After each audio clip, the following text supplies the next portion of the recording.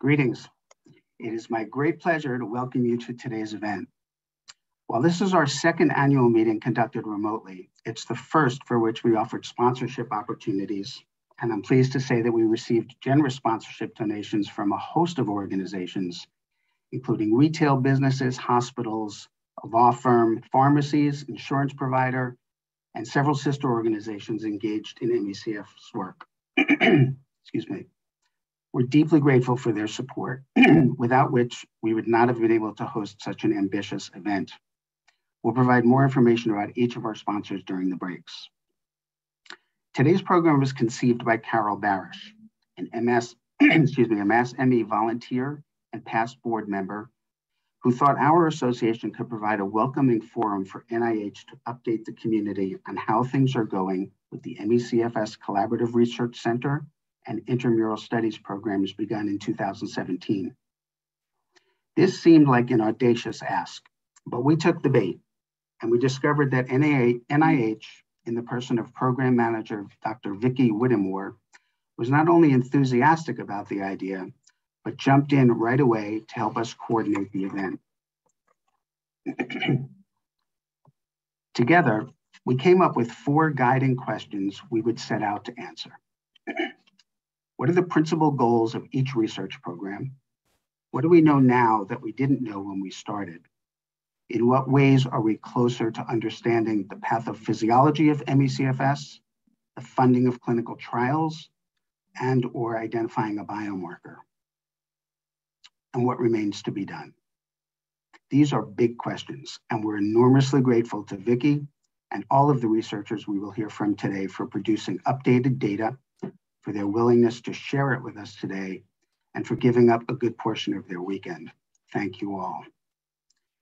As of yesterday, roughly 550 individuals had registered for today's event. To all of you, our members, speakers, sponsors, volunteers, and guests, including those of you in Asia, Europe, and throughout the United States, welcome. Thank you for being here.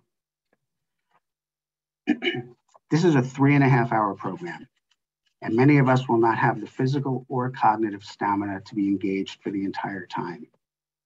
Please note that the event is being recorded and there will be an opportunity for you to catch up at a later date. The event is structured as follows. First, we'll provide a report to the membership, which is an annual requirement of our charter. Next, Dr. Vicki Whittemore will provide an overview of the NIH programs that are supporting the research that are being presented.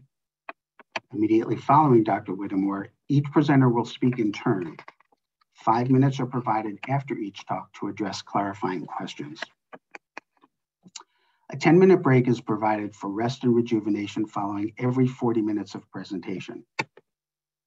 At the conclusion of the talks, Dr. Whittemore and all the presenters will return for a Q&A session. Here's some ground rules and basic information. During each of the presentations, the Q&A function will be enabled, and we encourage you to submit questions. While some questions may be asked during each speaker's five-minute clarifying period, the bulk of the questions will be asked during the Q&A session. Volunteers will be monitoring the questions, organizing and prioritizing which ones to pass along to speakers. Please look over existing questions and use the thumbs up voting tool if you see questions that are sort of kind of like what you intend to ask so we minimize the number that we have to sift through. Those with the most votes float to the top and therefore would be most likely to be asked. Chat. Right now, and in continuing through Leah's presentation of the report to members, the chat function is enabled. Thereafter, the chat will only be open during breaks and again at the end of the event. As for breaks, we'll have three breaks. Each break will begin with a relaxing soundscape followed by, followed by soothing music, artwork, and interesting MECFS facts provided by our members. A countdown timer will appear in the bottom left corner during the break so you know uh, when we're close to the 10 minutes uh, to come back. As a reminder, there is closed captioning available in real time, and if you would like closed captioning, um, choose the closed captioning icon at the bottom of your screen I think that's it. And now it is my pleasure to introduce Leah Williams to the stage.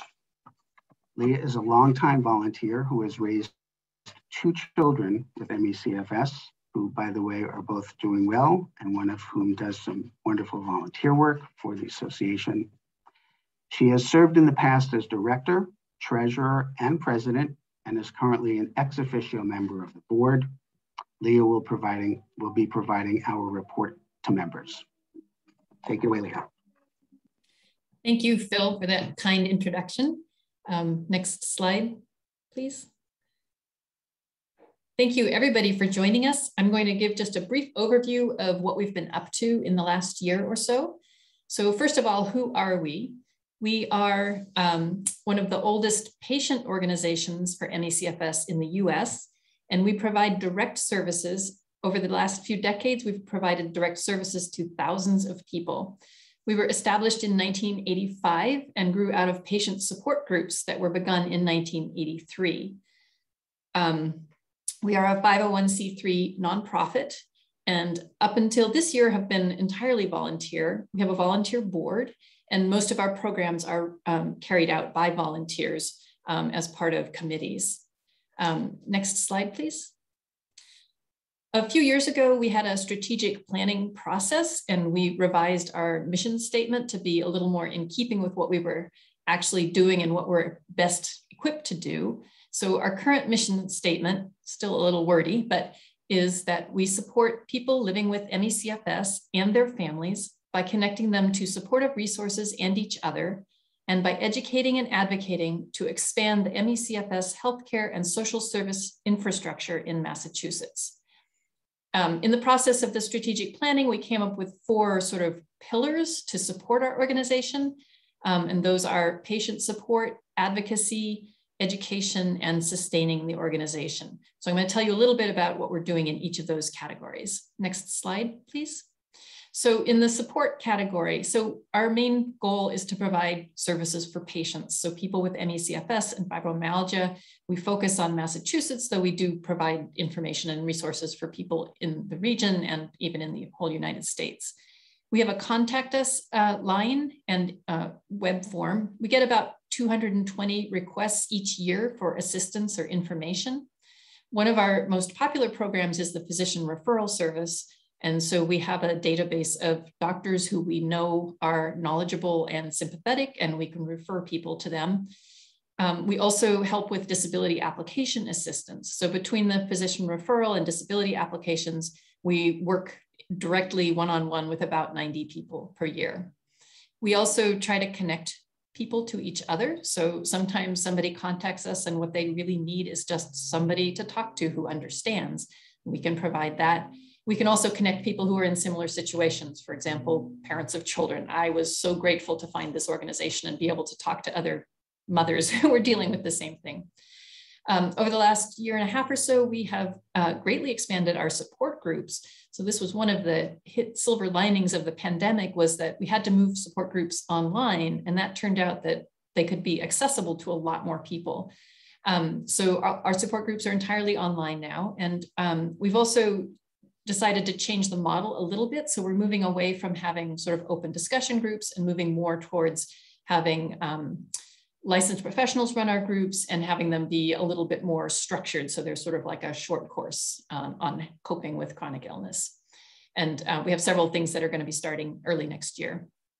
And the final part of our patient services is to connect people to each other. So we have member appreciation events. We had several of those in the spring. We've put on concerts. We have this annual event. Um, the downside of the pandemic, of course, is this is all virtual, so it's much harder to connect with people, but hopefully in the future, we'll be able to have in-person meetings again and, and really be able to see people and make new connections. Next slide, please. Uh, under education, so our goal is to educate people with ME/CFS and FM, some of whom have had a hard time finding accurate information, to educate the general public and to also raise awareness among healthcare professionals. Um, so for education, uh, for information, we have a monthly newsletter that has about uh, 2,800 subscribers. Uh, we have a website which has a wealth of information. Um, it does need an update, but we do have um, tens of thousands of visitors to our website each year. Um, and one of the things that's new on our website is a, a, blog by nurse Patty Purcell, and she has been writing about um, children in ME/CFS. We have a um, Facebook channel and a YouTube um, channel. Uh, these have been reinvigorated by Rebecca Redner, who's our, a new volunteer who's working on social media for us. Um, our Facebook page has something like 47,000 visitors last year, and our YouTube videos were watched 33,000 times. So this is very exciting that we can um, increase the number of people who can access our information. Uh, we have events to raise awareness with the general public. Uh, when the documentary Unrest came out, we had many events around that. Um, this year we had an author reading of The Puzzle Solver, the book by Ron Davis, that was at Buttonwood Books. Um, we have events to raise awareness with healthcare professionals. Um, we participated in a invisible disabilities panel with the Massachusetts Department of Public Health. And we have a grand rounds um, by Dr. Tony Komaroff coming up at Heywood Hospital in Gardner, Massachusetts. So if you're associated with a medical institution and would like a speaker about ME/CFS or FM, please get in touch with us and we can find somebody who can do that for you. Um, and then finally, we had a publication in a peer-reviewed journal. Um, this was myself and Carol Barish uh, wrote an article about three cases of severe ME/CFS in adults, and that was published in the special issue of Healthcare on Severe ME/CFS. Next slide, please. On the advocacy side, um, we uh, um, have decided to sort of step back and let other people lead as far as sort of federal legislative advocacy. Um, so Solve ME does a fantastic job uh, organizing Advocacy Day each year. Uh, this year, there were 54 constituents from Massachusetts. We met with all 11 members of the Massachusetts delegation. Many of those meetings were led by um, our association's volunteers who are very experienced with advocacy. Uh, Rivka Solomon, the incomparable Rivka, um, was on PBS NewsHour's Brief but Spectacular with a five minute spot about ME/CFS. That video has had more than a million views. Uh, we participated in the interagency working group on ME/CFS, and we worked with several other organizations to prepare a presentation on barriers to accessing healthcare. Uh, we were part of the proposal to change ME/CFS coding in healthcare, healthcare records. That effort was led by Mary Dimmock, um, and we're a founding member of the Long COVID Alliance, along with many other organizations. Next slide, please. Uh, sustaining the organization is another thing that we have to do. Uh, we rely heavily on volunteers. We have about 35 volunteers um, who are active. They donate collectively about 5,000 hours per year. That's the equivalent of two and a half full-time people. We could not do a tiny fraction of what we do if we didn't have all these wonderful volunteers helping us out. Um, we have members and donors, about 300 of them who support us financially and allow us to provide services. Um, we are extremely grateful. So far, we have had, um, we've been supported by donations entirely from individuals, and we are, um, we want to look into getting grants um, to provide our services. So if you know of any family or private foundations that fund the kind of work that we do, we would love to get uh, some tips. It seems to be very hard to figure out who to apply to. Um, in, this is a uh, pie chart of our approximate expenses in 2021. We, uh, we, spent about half of our budget on the support groups, uh, about 25% on the physician referral and disability guidance, another 20% on advocacy and events, and then 10% on IT and administration. So you can see we're a very low, low overhead organization. So if you do donate to us, your money goes a long ways. Next slide, please. Uh, the board of directors in 2021 is actually quite small, very small for us. Um, consists of Phil Chernin, who did the introductions. He's the president. Um, Patricia Woods is the clerk, and Susan Buckley is the treasurer. And then I'm on the board as a non-voting ex officio member as past president. Normally, we would be electing new board members at this annual meeting. Um, however, we're going to we've moved that election uh, online, and it will take place in November. Uh, we are hoping to expand our board. So if you're interested in serving on the board, please get in touch with us. Next slide, please. Looking forward, uh, I think I mentioned we um, are hiring our first paid staff member. Um, this is a part-time administrative assistant who will start next month. We're very excited about this. We're, we're hoping that this will um, make things like serving on the board and volunteering a little bit easier for people to commit to if some of the just administrative stuff is taken care of. Uh, we want to expand our board from the current four to about seven over the next year, year and a half. Um, we are looking for licensed healthcare care, healthcare professionals to help with program oversight. We realize we really need to be to be making sure that our programs are sensible and conform with um, regulations. Um, and then we've also uh, been working on shifting our support group program from being sort of open discussion to being a little bit more structured. And finally, we're hoping to grow our art share program. This was started by our um, volunteer coordinator last year and has been very popular. Uh, next slide, please. And I want to thank all of our volunteers. Um, there are many, many people on this slide. I can't name them all, but please know that we just so appreciate your time and energy and commitment to um, sustaining our association. Um, next slide, please. I do want to pay a particular tribute to Anne Bodio, who is stepping down after volunteering with us for 33 years. She came in through a support group, um, served as our information line volunteer manager, has done patient services, volunteered for events. She served on the board for six years and then brought in her husband to also serve on the board. And he served as treasurer for quite a few years. Over the last few years, she's been doing something called data mining, where she just um, looks for articles and information about MECFS and then forwards them to a large group of us. This has been an invaluable service. I write the newsletter and it is so helpful to be getting these uh, little tidbits of information coming at me. Um, so I'm gonna end my presentation with a quote from Anne. Making a difference and contributing to something is very important to me. I have to keep doing things that make a difference. It gives my life a purpose. There is so much you can do from right at home. So thank you everybody. And I'm gonna pass it back to Phil now. Thank you so much, Leah. Um, I just love hearing about what we do.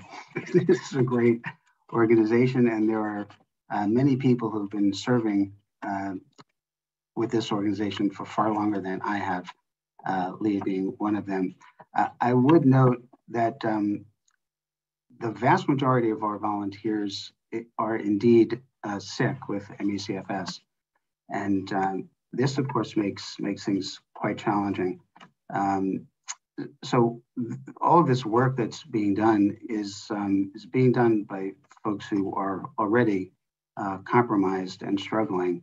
And uh, their dedication is, is truly awe-inspiring. Um, thank you for that, uh, for that summary, Leah. Okay, we're going to uh, move on to the, uh, the big presentations. And it is now my pleasure to introduce Dr. Vicki Whittemore, who will begin uh, telling us about uh, what the uh, programs are that we're going to be hearing about. Dr. Whittemore is a program director of the Channels, Synapses, and Circuits Cluster in the National Institute of Neurological Disorders and Stroke. I think I said that correctly and practiced it enough. Uh, which is at the NIH. Uh, in this role, she oversees a grant, grant portfolios on both MECFS and epilepsy. As I noted earlier, this program would not have been possible without her. In fact, some of the research itself would not be possible had it not been for Dr. Whittemore's commitment to advancing an MECFS research agenda at the NIH. Please welcome Dr. Vicki Whittemore. Thanks so much, Phil. Let me get my slides running here.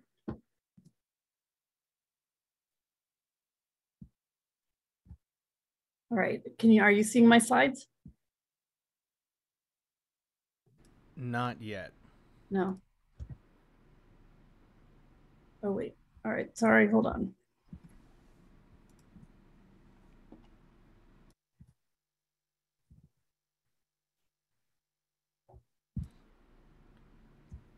We see them. They're just not in presentation mode. All right, there we go. All right. All right, so thanks so much, Phil, and um, thanks to everyone at the Mass MECFS organization for asking me to do this, especially my dear friend Carol. Um, it's been really a pleasure working with you and putting this panel discussion together. So I'm just going to give you a quick overview to get us started for the afternoon. So the National Institutes of Health is one agency within 11 within the Department of Health and Human Services. And it, NIH invests $41.7 billion annually in medical research for the American people. And these are the fiscal year 2020 figures.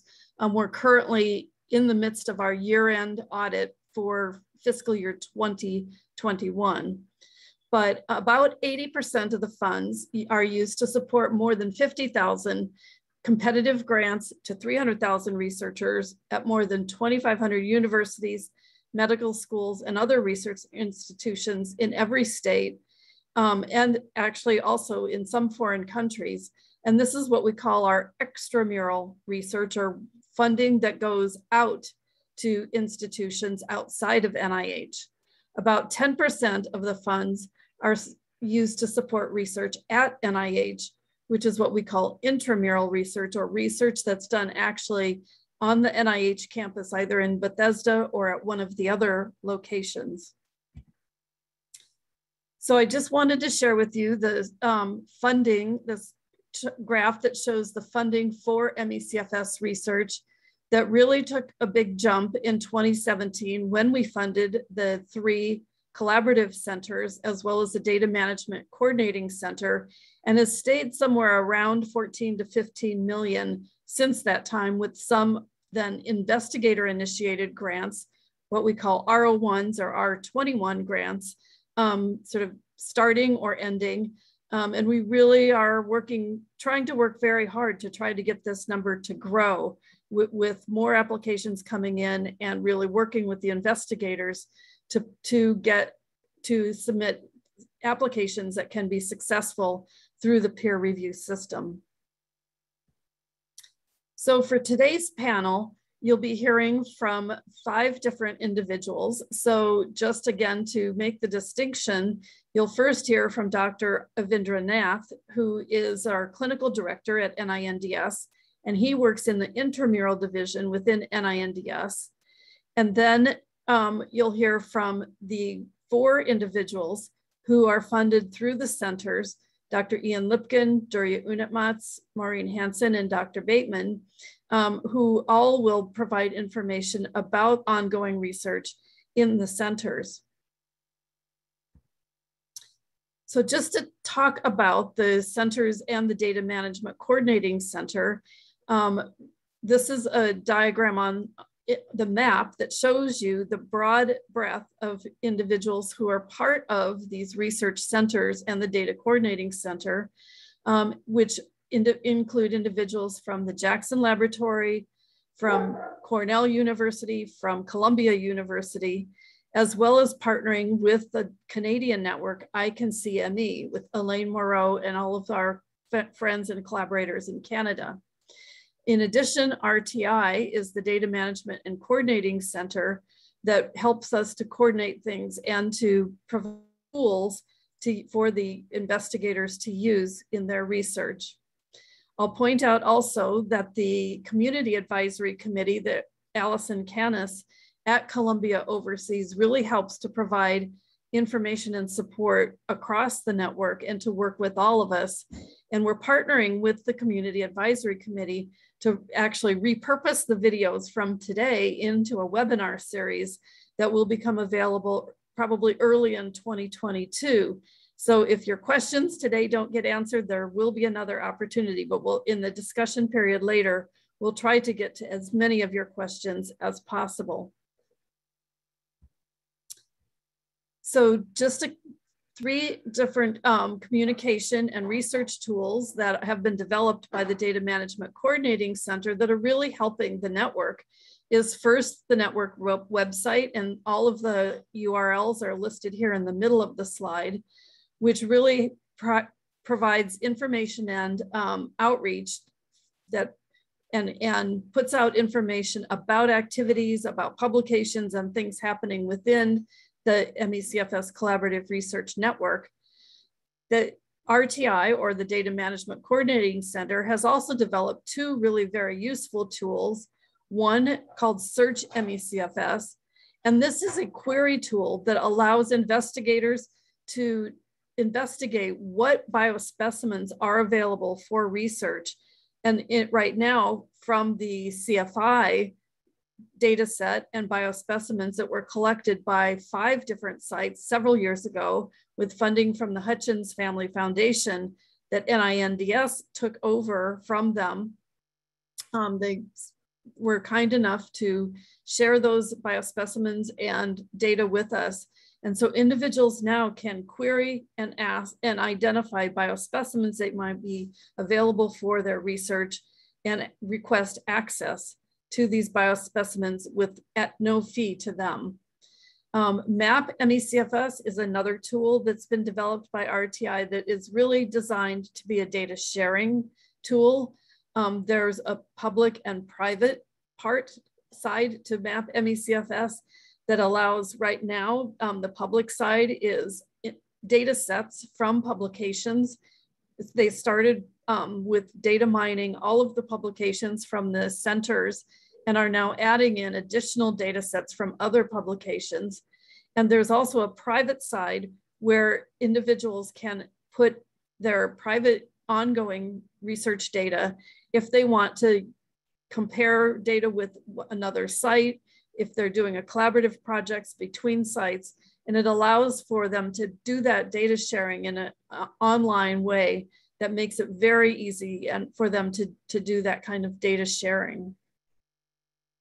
So with that, I'm going to stop and turn it back to Phil to start the panel um, in introductions. And I look forward to coming in after each of the speakers to ask them clarifying questions and then to moderating the panel at the end. Thank you. Great, thank you so much, Vicki. Uh, we're actually running a little bit early, which is fantastic. Um, I know all the speakers um, have tons of information to share, and it's it's been challenging to to whittle it down to 15 minute segments. So uh, Dr. Nath is going to appreciate this uh, this extra time. Uh, so with that, um, I'm going to introduce uh, Dr. Avindra Nath. He is the clinical director of the National Institute of Neurologic Disorders and Stroke, or NINDS, where he's also the chief of the section of infections on the nervous system and the director of the Translational Center for Neurological Sciences. He directs the NIH intramural study on MECFS. And this study seeks to define clinical phenotypes of MECFS, to understand the underlying physiology of fatigue, to determine if there are abnormal immune or microbiome profiles, possibly establish biomarkers, and to evaluate immunomodulators. It is an honor for me to welcome Dr. Nath to the stage.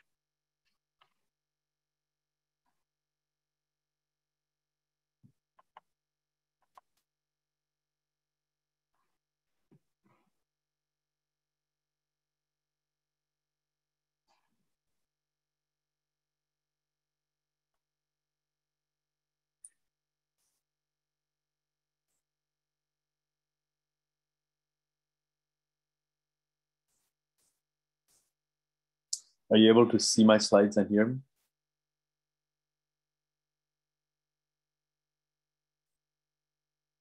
Yes, we can, Avi. Oh, okay, thanks. So thank you, Phil, for that very kind introduction. Um, I'm absolutely delighted and honored uh, to be part of this very esteemed panel. And, uh, and I'm very grateful to what you and your organization is doing for these patients. It's uh, such a great um, a service and, and a real need uh, in the community. And I'm also honored to have the opportunity to really lead the efforts here within the intramural program.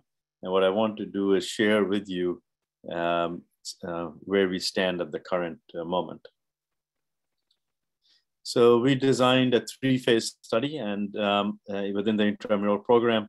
And what I'm going to do is share with you where we stand with the first phase, which is a cross-sectional study a deep phenotyping of patients who have ME/CFS, but it's a subgroup of ME/CFS uh, who clearly had an infectious process that triggered it. Uh, and uh, the idea really was to try and understand the pathophysiology uh, of the uh, disease.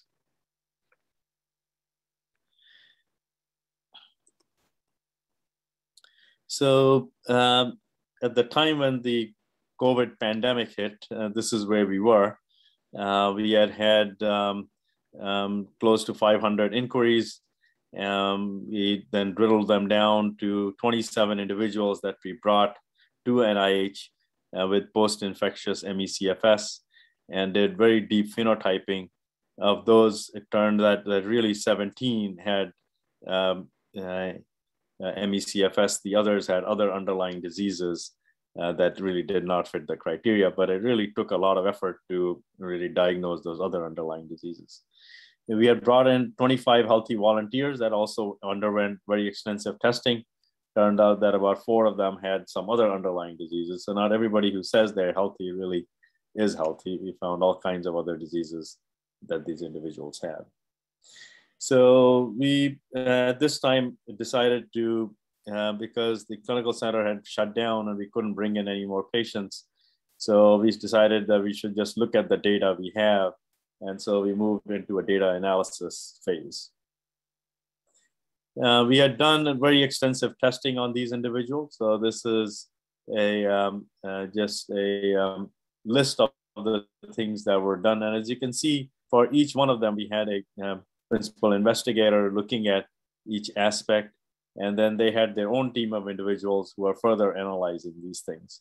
So it was a massive effort of a huge number of investigators from multiple different institutes that are all come together uh, in order to try and see what they can do to understand this disease further. So currently for our data analysis, what we did was we formed working groups. And so we have um, a, a, clinical description working group, an immunology working group, a physiology working group, and I should have put in bioenergetics. There's a bioenergetics working group. And now we have a, a manuscript writing team because uh, most of the analyses, not all, but pretty close to, uh, we are uh, finished doing the analysis now. So this is what the um, uh, clinical uh, description working group is working with. And so there are all kinds of parameters that they have. Um, and so I'll show you at least some of the uh, analyses. Um, so the uh, healthy volunteers and the ME/CFS groups are fairly well matched, as you can see here with age, as well as with BOS, uh, sorry, uh, body mass index. You can see that they're fairly well matched here. And then we um, uh, did a number of different uh, scales that we applied to them. These are all uh, self-reported, but nonetheless, they are, are um, uh, important pieces of parameters that we capture from each of these patients. And you can see that they have uh, decreased um, um uh, physical abilities and also um, they have their scores on mental functioning is also diminished in the patients with ME/CFS. And they do report uh, more fatigue on these scales, and they report more sleep disturbances uh, compared to the healthy volunteers. Uh, we also measured their um, hand uh, strength, and what we found was that uh, they do have the ability to give you maximal hand force which is equivalent to those of healthy volunteers. So their ability to at least give maximal strength is very good. However, their time to fatigue was rather short. So they fatigue very quickly, while the healthy volunteers took longer in order to fatigue. Uh, we did a number of pain scales that we applied uh, to the population. And what we found was then all of the pain scales, uh, they um, uh, performed uh, quite differently compared to the healthy volunteers, and they had increased pain intensity, interference, they experienced more distress uh, from the pain, and they also had some tender points that could be identified more so in the uh, ME/CFS patients. We also did skin biopsy on these patients, and then um, measured the nerve fiber density. And that was done by um, the group at Hopkins, where we sent these uh, um, skin biopsies, and they did not find any abnormality in the nerve fibers. Uh, we also did very extensive cognitive batteries, about like a three hour battery on each one of them. And we found that on a number of parameters, the patients with ME/CFS uh, did poorly. So that included attention, verbal memory, language, um, visual spatial perception, and visual memory as well.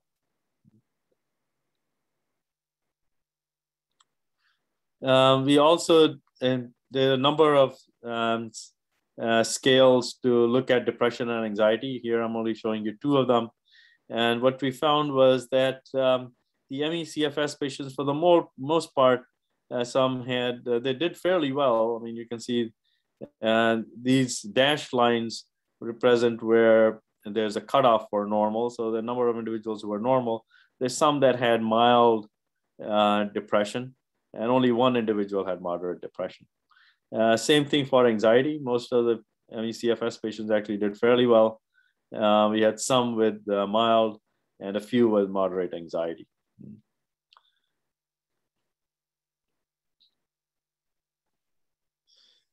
Okay, so then we have a physiology working group. I'm not showing you any of the data, but these are the various types of measures that we have collected on each one of them. And, um, uh, and so much of that has been analyzed and there's some, a few things that we're still um, in the process of finalizing. And, um, and then we have the immunology working group, uh, and we've done very extensive immunology on these patients.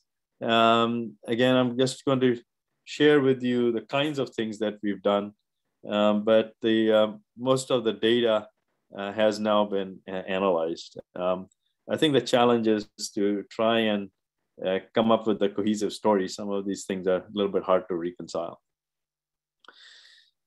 Nonetheless, one of these assays is a, uh, a SomaLogic assay. And so these are the summary of the different types of proteins that we detected in the spinal fluid and serum of patients uh, with ME/CFS. And you can categorize them by their functions as well as by whether the intracellular or extracellular. And so uh, we looked at about 1,300 proteins in, in these um, uh, individuals. Uh, we also, not just the proteins, we also looked at the mRNA. So we sequenced the mRNA from the uh, lymphocytes in the blood, and, uh, and those have also been analyzed now. So we have the ability to uh, now see if the there is correlation between the RNA and the protein expression. Uh, we also looked at the gut microbiome, and although I'm not showing you the data, I think the uh, it uh, the data for the most part validates the kinds of studies that Dr. Lipkin has done in his group, which is actually very good because one of the problem in the field has been reproducibility across cohorts. So we're delighted to see that in a different cohort, looking at different um, parameters and different ways of analyzing the data, we come up with the same conclusion. So I think that is um, uh, uh, is actually very rewarding. Um, so for whatever it's worth, we did the NK cell functional assay. This is a radioactive uh, assay that we got done at uh, Cincinnati Children's Hospital. And uh, at least using that assay, we did not see any difference in the natural killer cell uh, function in uh, either of these uh, uh, groups.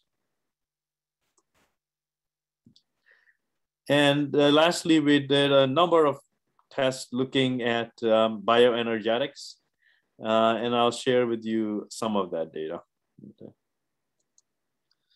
So here uh, shown here is that uh, these patients undergo exercise and, uh, and you take them to the anaerobic threshold and then you uh, get to uh, measure the amount of work rate and oxygen consumption. And in both of these parameters, patients with ME/CFS did much poorly compared to healthy controls.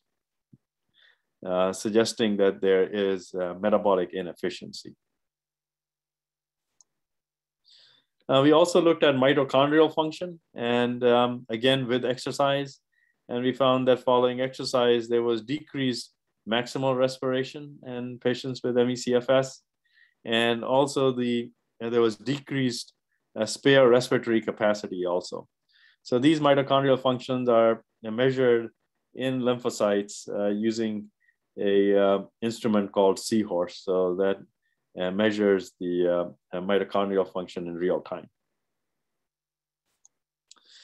So I'm going to stop here and acknowledge um, a large number of individuals who have contributed uh, to this uh, data and to the study of these patients. And most importantly, I want to acknowledge Brian Walitt, who is the lead investigator and really has done the lion's share of the work in organizing the entire study and all the investigators, putting the working groups together and keeping us all on track. So without his help, none of this would have been possible. And of course, uh, you have, I would really want to thank all the volunteers uh, who participated in this study because they're volunteering their body without really uh, getting any immediate benefit uh, from it.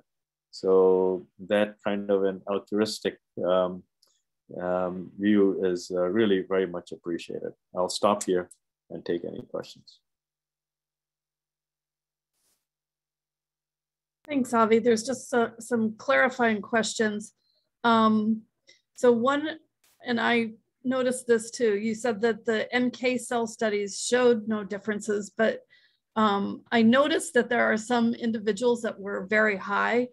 And so do you think that there are subtypes? So some individuals may show NK cell dysfunction, but when you yeah. group them all together, you don't see that difference. Uh, that's a fair question. The uh, sample size is small, so unless there was a robust uh, change in all the patients as a group, uh, we wouldn't see it. But it's true that if you were to look at large sample sizes, you'll probably be able to tease out further subgroups uh, within this population. Makes sense. And there was a question about the mental fatigue symptoms. Um, the y-axis was age. Is that correct? Or in your on your slide with the mental fatigue symptoms? With age. Let me see.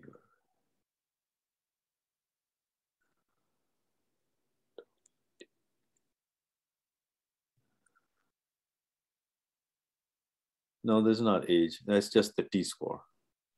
Oh, okay. Yeah,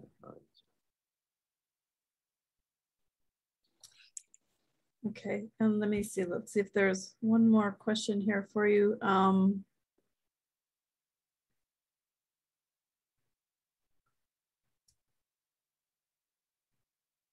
so there's a question, Dr. Nath, about was there any indication of neuroinflammation in the CFS analysis?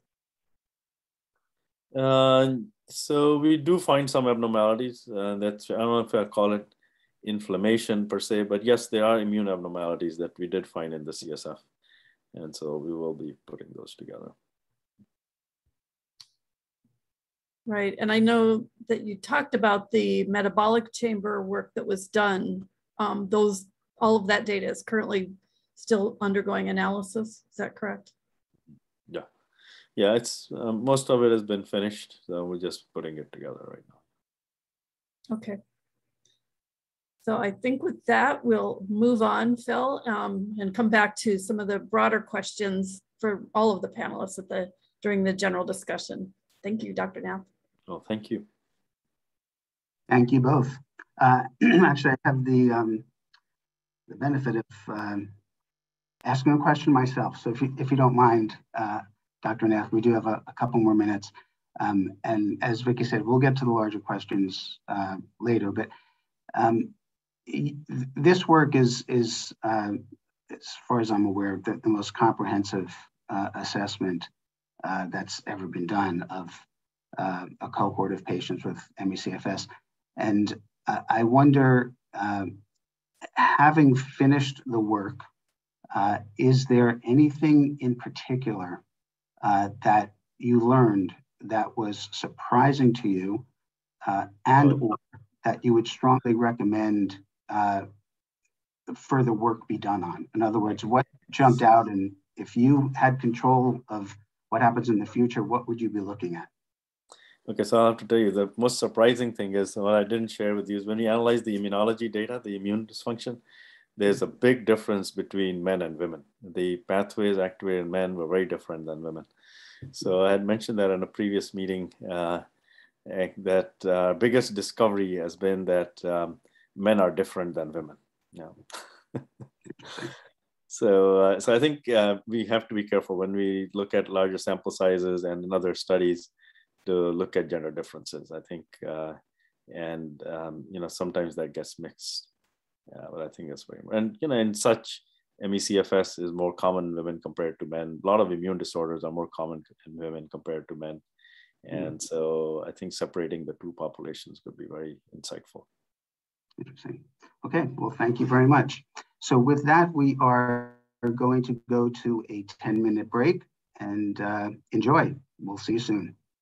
Thanks.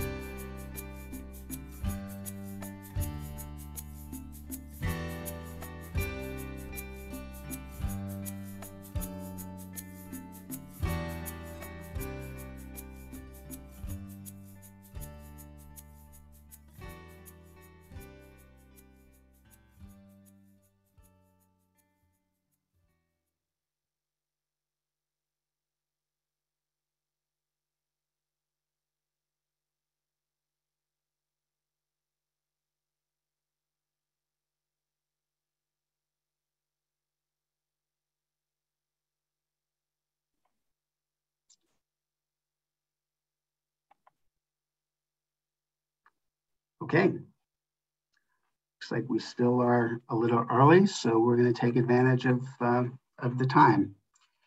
Um, if you're wondering who produced uh, those wonderful slides, uh, that would be Rebecca Redner, uh, who was also monitoring Q&A.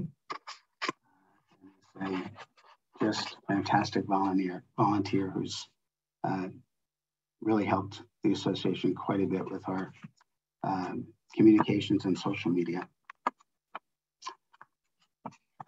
So back to business. Um, our next speaker is Dr. Ian Lipkin. Dr. Lipkin is the director of the NIH MECFS Collaborative Research Center at Columbia University. The center examines biological samples from people with MECFS and healthy controls for microbial agents such as, such as viruses and bacteria that may play a role in the disease. Dr. Lipkin is internationally recognized for infectious disease diagnosis, surveillance, and discovery. In fact, I first uh, learned of Dr. Lipkin on a news report where he was referred to as a virus hunter. He has been at the forefront of the outbreak response to many of the world's recent outbreaks of West Nile virus, SARS, Zika, encephalitis, and COVID-19. And we are thrilled to welcome Dr. Lipkin to the stage.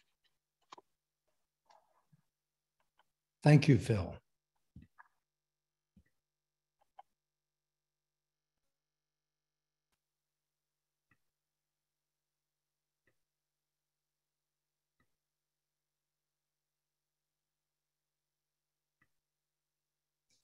Can you see my slides? Yes, we can. Yeah. Thank you. Although um, Phil has described us as a center focused at Columbia, we're actually an interinstitutional center that includes some speakers today, um, Avi Nath, Cindy Bateman, from your own area, Tony Komaroff, and then people on the West Coast as well and we all work together collaboratively to address different aspects of our own within our own expertise. As Phil has said, the function of our center really is to focus to some extent on the role of infection immunity in MECFS.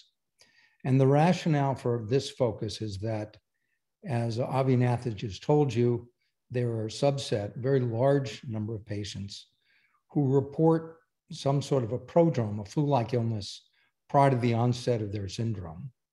And we know from SARS and MERS and Ebola that severe viral infections can result in a disorder that looks like ME/CFS and may in fact represent it. And then we have many individuals who've had herpes virus infections, tick-borne infections and such, who develop something that looks very much like ME/CFS. And one of the challenges is that there are so many different presentations of MECFS that we're not really clear that we're talking all about the same disease. There may be a spectrum of diseases. That doesn't mean that we won't learn something that will be helpful for everyone, but it does mean that we need to break down categories. And that's one of the things that we try to do in our center. Our strategy has been to look at blood, feces, and saliva for bacteria, viruses, and fungi using approaches that we've applied in outbreaks. These are very sensitive methods that allow us to find direct evidence of infection. We also look for indirect evidence of infection, exposure to bacteria, viruses, and fungi that may trigger the expression of antibodies, including autoantibodies. We're also very interested in looking at metabolic disturbances because we think that this accounts for many of the symptoms that we see in MECFS. And we believe this gives us an opportunity to find biomarkers that will allow us to diagnose patients.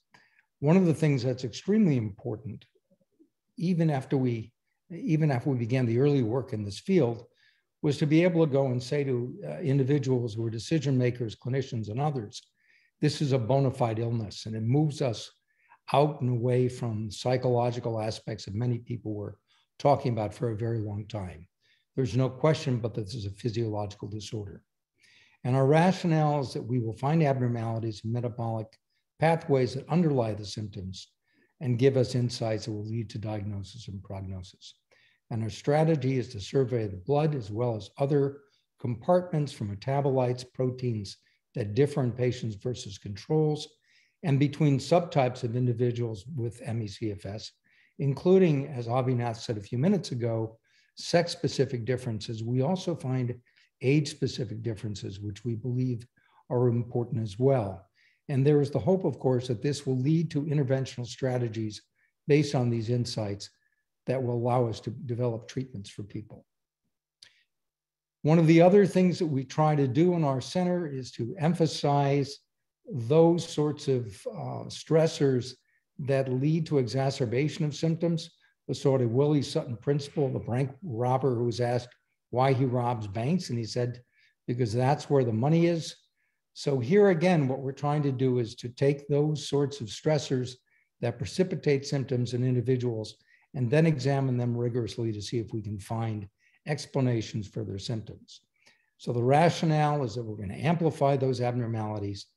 This makes it easier, easier for us to detect and hopefully to understand them as well. Our approach has been to exercise patients and controls on a stationary bicycle. We then collect blood before and after exercise we profile immunity metabolism before and after exercise. And because we don't have access to tissues, we use as a surrogate peripheral blood white cells, which we can then expose to microbial stimuli. We have a clinical program as well. We're trying to identify clinical, clinical variants because we think that there's a spectrum of disability and there may be multiple paths to ME/CFS that will be illuminated by this kind of work. And this will allow us, we hope, to develop specific treatments, diagnostic procedures, uh, and ways in which we can prevent disease. And these may be uh, tailored to individual patients. Our strategy is to examine the database that's been built up over a period of several years using artificial intelligence to understand how we can integrate the signs, the symptoms of disease, as well as the laboratory findings. And Tony Komaroff has uh, been trying to build an app for collection of symptom data in real time that's useful for both patients and their clinicians to track disease. We think this is going to be helpful in developing treatment strategies. And this app has now been turned over to Solve ME, and they're working with this independently at this point. I'm not going to show you a lot of data slides because um, I think we're trying to keep this at a very high level so you can get a sense of where we're going. But I would like to highlight some of the abnormalities that we have found to date that we find are important and are already giving us to clues for clinical trials. If you look at feces of individuals with ME/CFS, and you simply look at the total bacterial load, as you can see on the left side of the screen, individuals with ME/CFS actually have more bacteria in their feces than their age and sex match controls. But if you look at the composition of those bacteria, what you find is that there's a reduction, as indicated by the arrows, in a specific set of bacteria that produce a compound known as butyrate. Now, we've not just rested with characterization of bacteria, we've actually then measured levels of butyrate. So in this slide, in the left panel, you can see that not only the bacteria that are capable of producing butyrate reduced, the actual amounts of butyrate in feces are also reduced. I don't have time to go into the CNS abnormalities associated with low levels of butyrate, but we know that butyrate is extremely important for supporting GI motility, and this may explain why some individuals have difficulties uh, with irritable bowel syndrome it's also anti inflammatory, it controls pathogens, and it controls the intestinal barrier. This is very important because it means that toxins that might be present that would normally be excluded can now passage into the systemic circulation and cause disease. Using a method called proteomics, we've examined the expression of proteins that are present in the blood of individuals with ME/CFS. And what's been most striking to us here is that there appears to be an expansion of specific populations of B cells, the same sort of expansion in their numbers that you would see in an infection, bacterial or viral or an association with some sort of an autoimmune phenomenon. When we initially reported this, um, we really weren't able to get into what I would consider to be the highest profile journal, but subsequently, there was another group that independently confirmed these findings. This is extremely important. As Professor Nath noted earlier, one of the challenges here in this field is that we don't have the sort of reproducibility that's required. We're beginning to see that as more and more people are doing similar types of work. The implication of the finding is that we may be able to find and eliminate the trigger, and that in fact may result in an improvement in disease. I mentioned the sort of Willie Sutton principle of trying to bring out the abnormalities with exercise. So using exercise stress testing, we have been examining findings um, in the immune system as well as metabolism in association with exercise. And what we've learned is that patients with ME/CFS have a heightened inflammatory response after exposure to the yeast candida or to bacterial extracts. The sex specific effects and inflammation are profound. So we see higher responses in women than in men, and that effect is particularly great after women are 45 years of age. We've also looked at metabolism, and I'm just summarizing one of the most interesting findings here. So there are in the mitochondria various pathways that are used to process compounds to give rise to certain energy molecules, which are critical for central nervous system function, for muscle function, for any sort of physical activity whatsoever. And the cycle is shown on the left side of the screen. It's called the Krebs cycle or the tricitric, excuse me, the um, tricarboxylic citric acid cycle.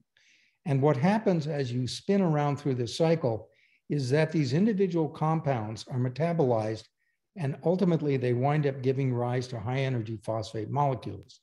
If there's a backup in this system such that the circle can't proceed, you get an accumulation of backup of some of those other molecules. And the red arrow there indicates the presence of citrate.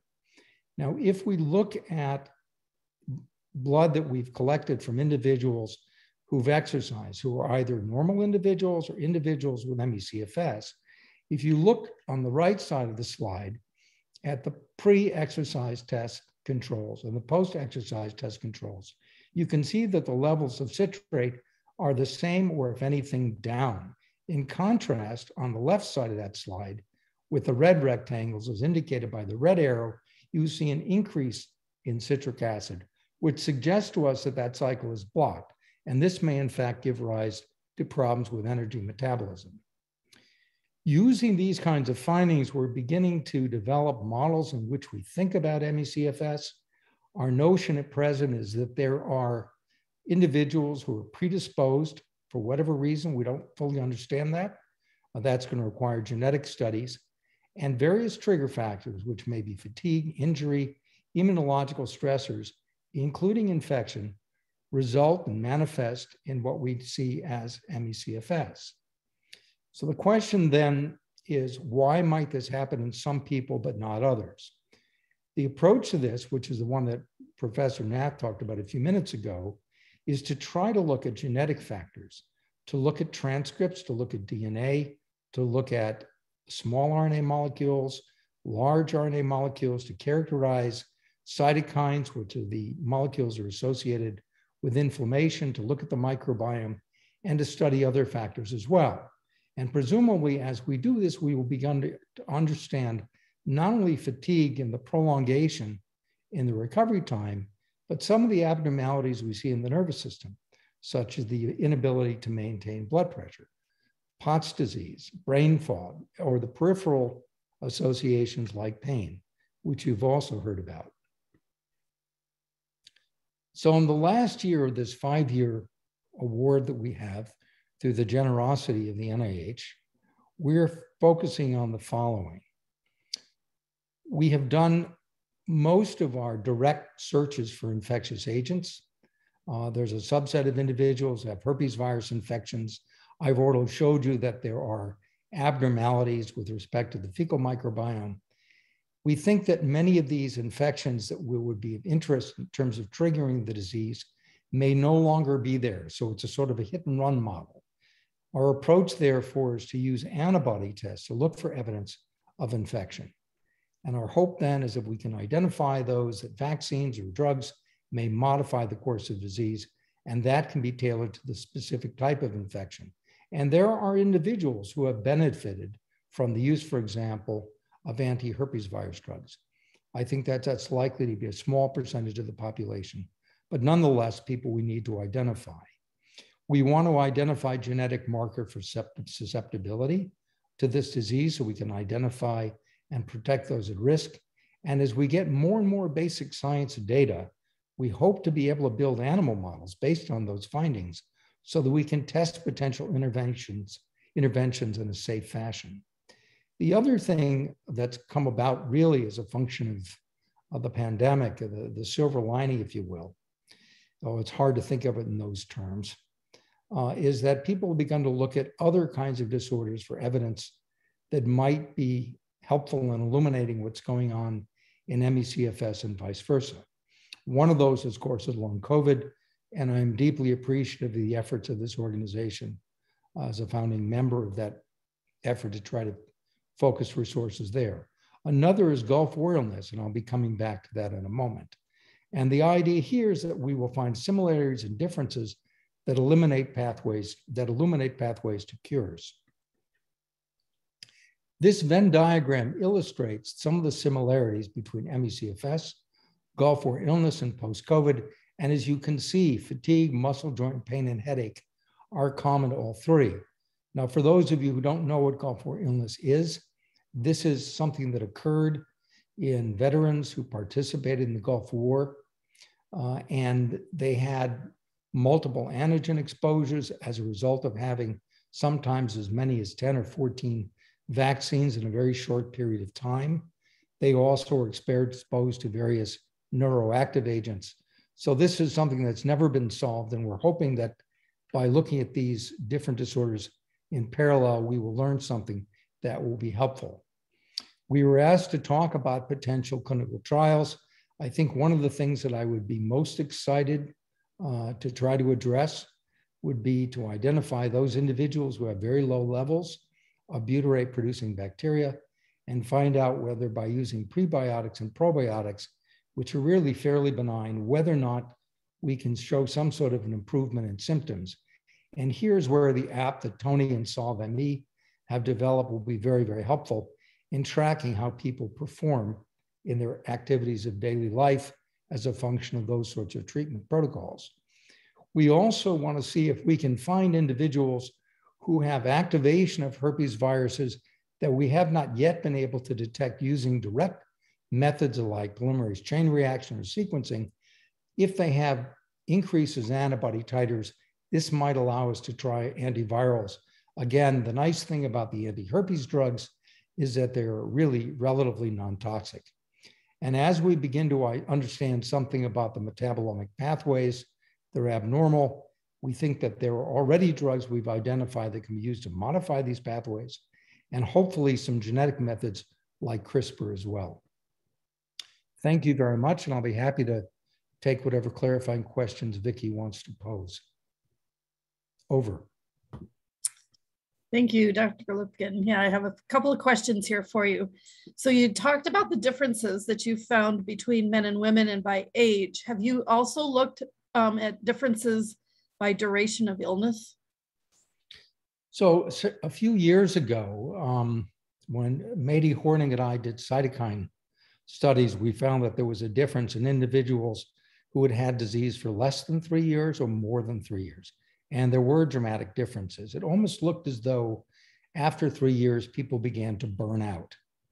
So um, we've not done a similar kind of analysis with uh, the exercise stress test because we don't have a large enough representation of people who have short duration illness or long duration illness. But it's a very good question. The other thing that I can't tell you, just sort of anticipating another issue, we don't yet have any estrogen data. So there are differences in women who are more or less than 45 years of age. Uh, and I expect that this may be important as well. Interesting, thank you. And then another question about any clues on how the presence of only IgG could cause the illness and the variety of symptoms.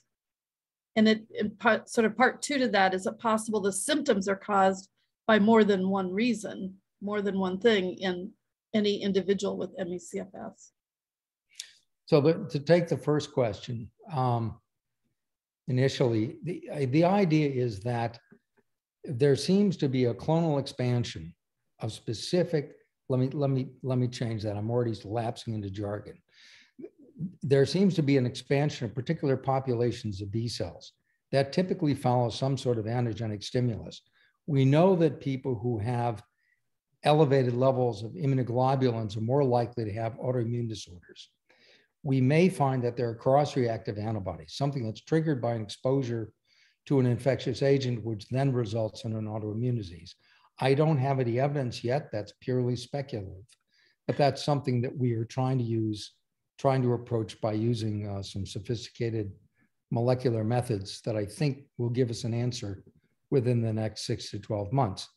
Now, the next question is, could there be several things that work mm-hmm. together to cause ME/CFS? Or could there be different pathways to ME/CFS? Yes, I think that is the case. I think that you're going to have to find ways in which you can pursue precision medicine and precision science because there's a final common pathway that we know is ME/CFS. But some people may have this as a result of exposure to infectious agents, others to toxins, other to exposure of autoantigens. There's a wide range of possibilities. Thank you very much for that. Um, one more question here. What are some of the theories of what causes the microbiome changes? Is it exposure to antibiotics, differences in viromes, inherent differences in gut immunology?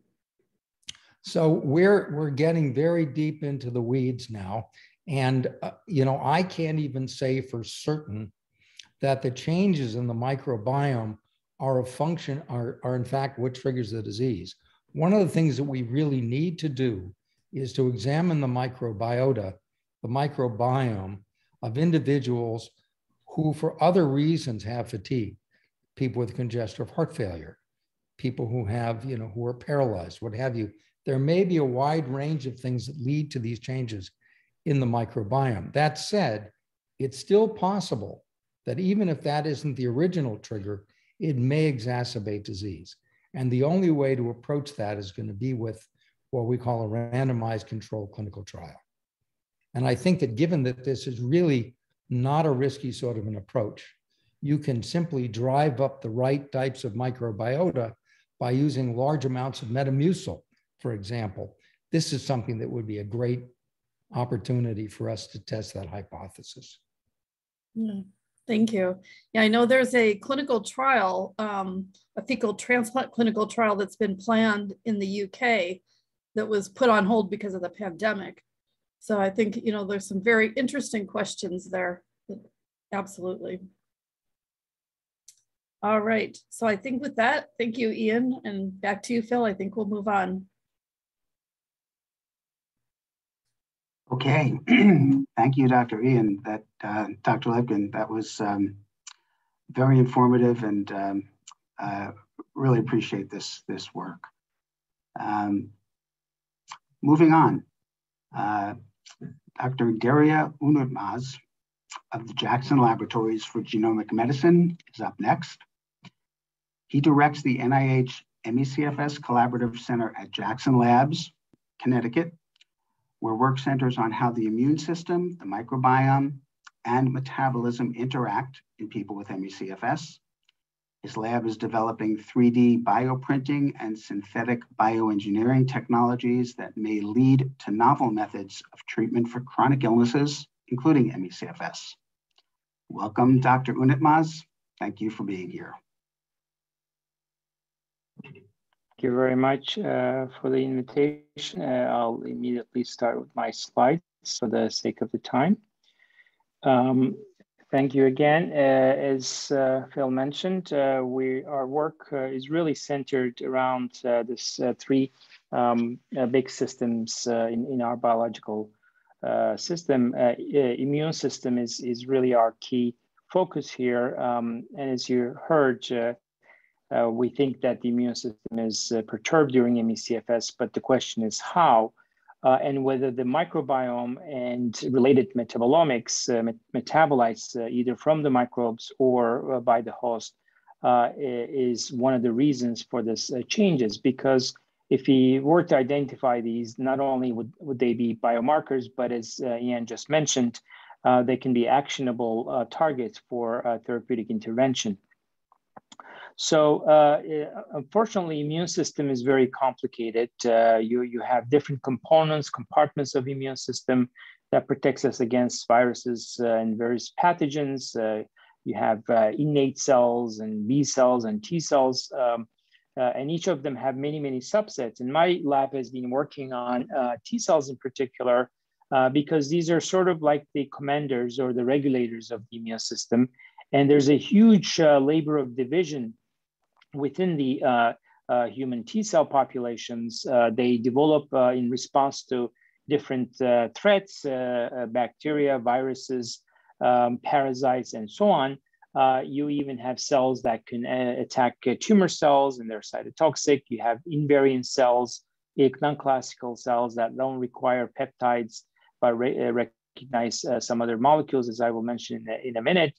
Uh, but uh, they're also sort of double-edged sword because uh, you can have autoimmunity if their function is not uh, correctly uh, controlled. And we even have a subset of cells called Tregs, regulatory T cells that function to actually control the rest of the T cell population so that to make sure that they don't go over the board and, and they don't cause too much trouble and really focus on the, on the infection.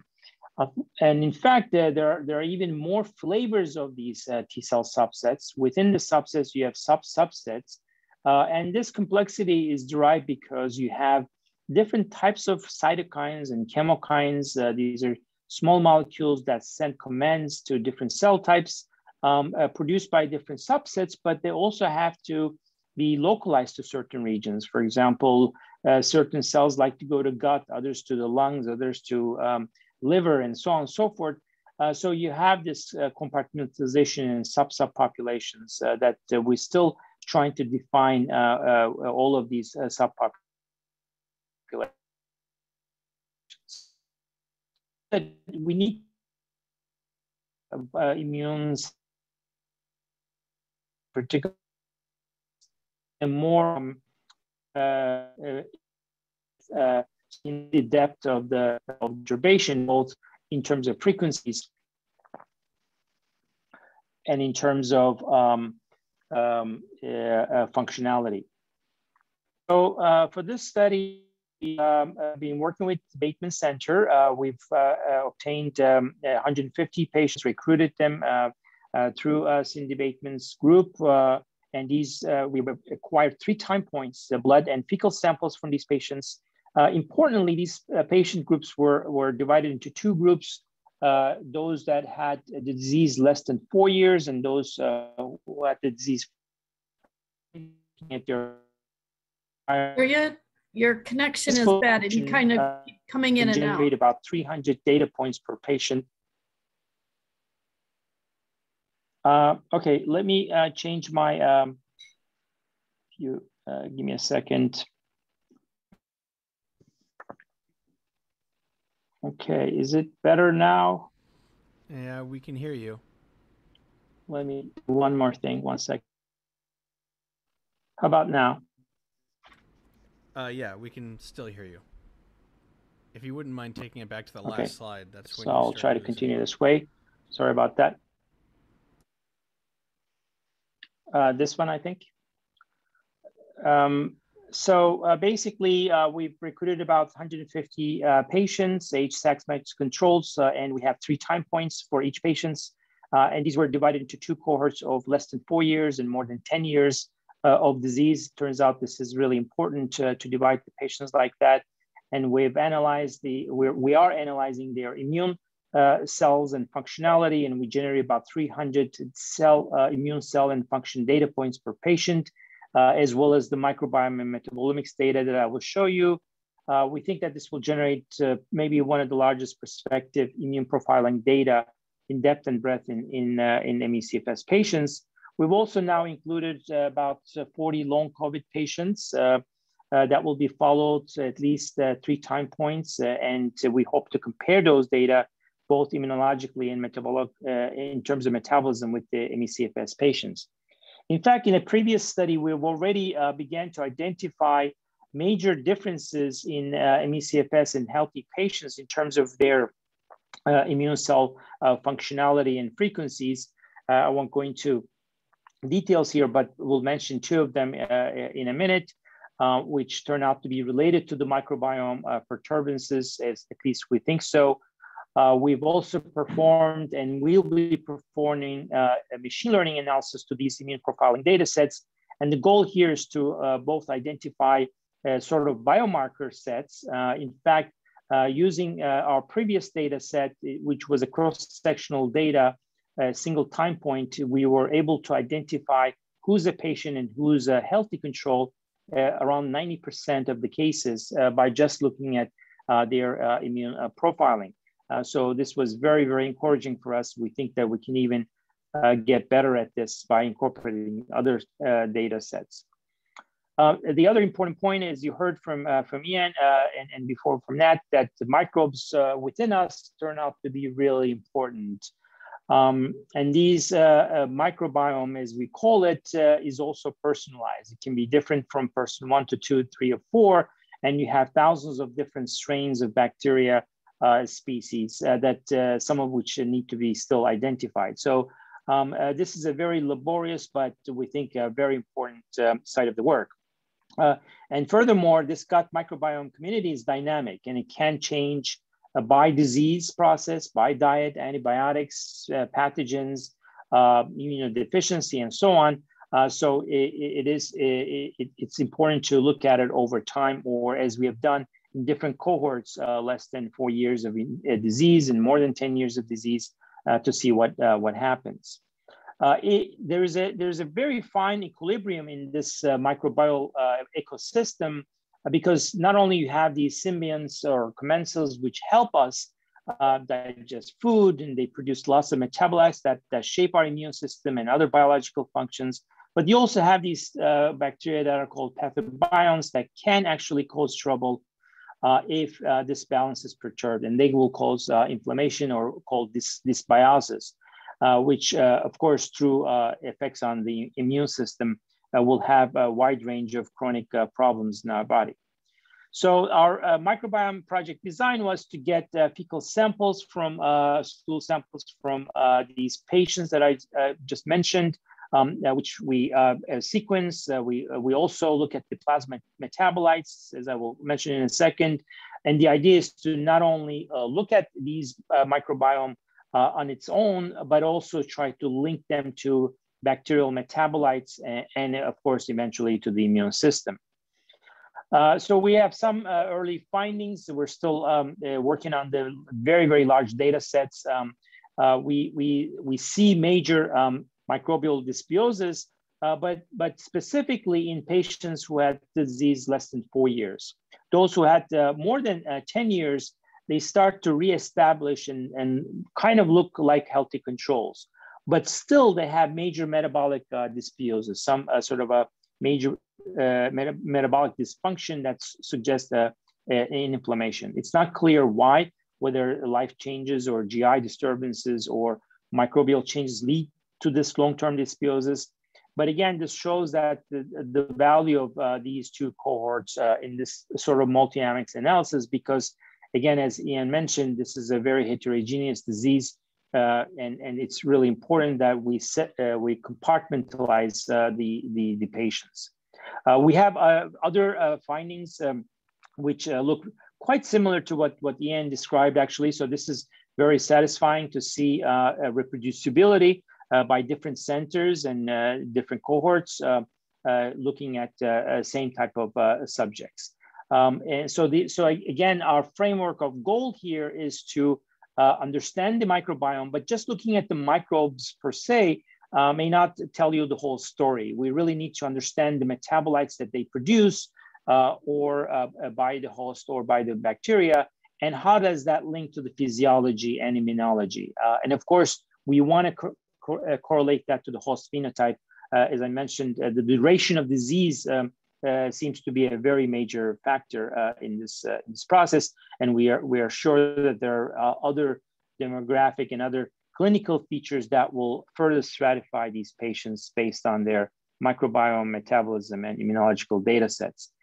Uh, one of the things that we actually found in our previous study is that uh, a, a, key cell type um, called Th17 cell that is shaped by the microbiome, uh, and this is very well established uh, by certain bacteria, is involved in variety of uh, uh, autoimmune diseases, is also perturbed in ME/CFS patients. This was one of the major populations of T cells that we find to be disrupted in, uh, in ME/CFS patients that we hope to reproduce with the new cohorts as well. So that was our first link uh, to the microbiome and the immune system. And the second is that we've also been working on a non-classical T cell type called mucosa-associated invariant T cells, which actually recognize bacterial metabolites uh, derived from uh, bacteria produce riboflavin or vitamin B2 uh, and they seem to be uh, sort of the guardians of the bacterial ecosystem in, in human body, particularly in gut and skin.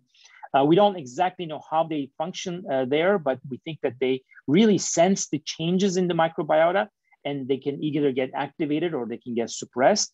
Uh, and we see, again, a major overactivation of these MAIT cells in, uh, in ME/CFS patients, suggesting a significant perturbance of the, of the microbial uh, system. So these were uh, the two of the major links to the immune system and, and the microbiota. And finally, uh, metabolomics uh, analysis, we think, um, and in fact, turn out to be very important. And the idea here is, again, to perform a targeted metabolite analysis in blood sample.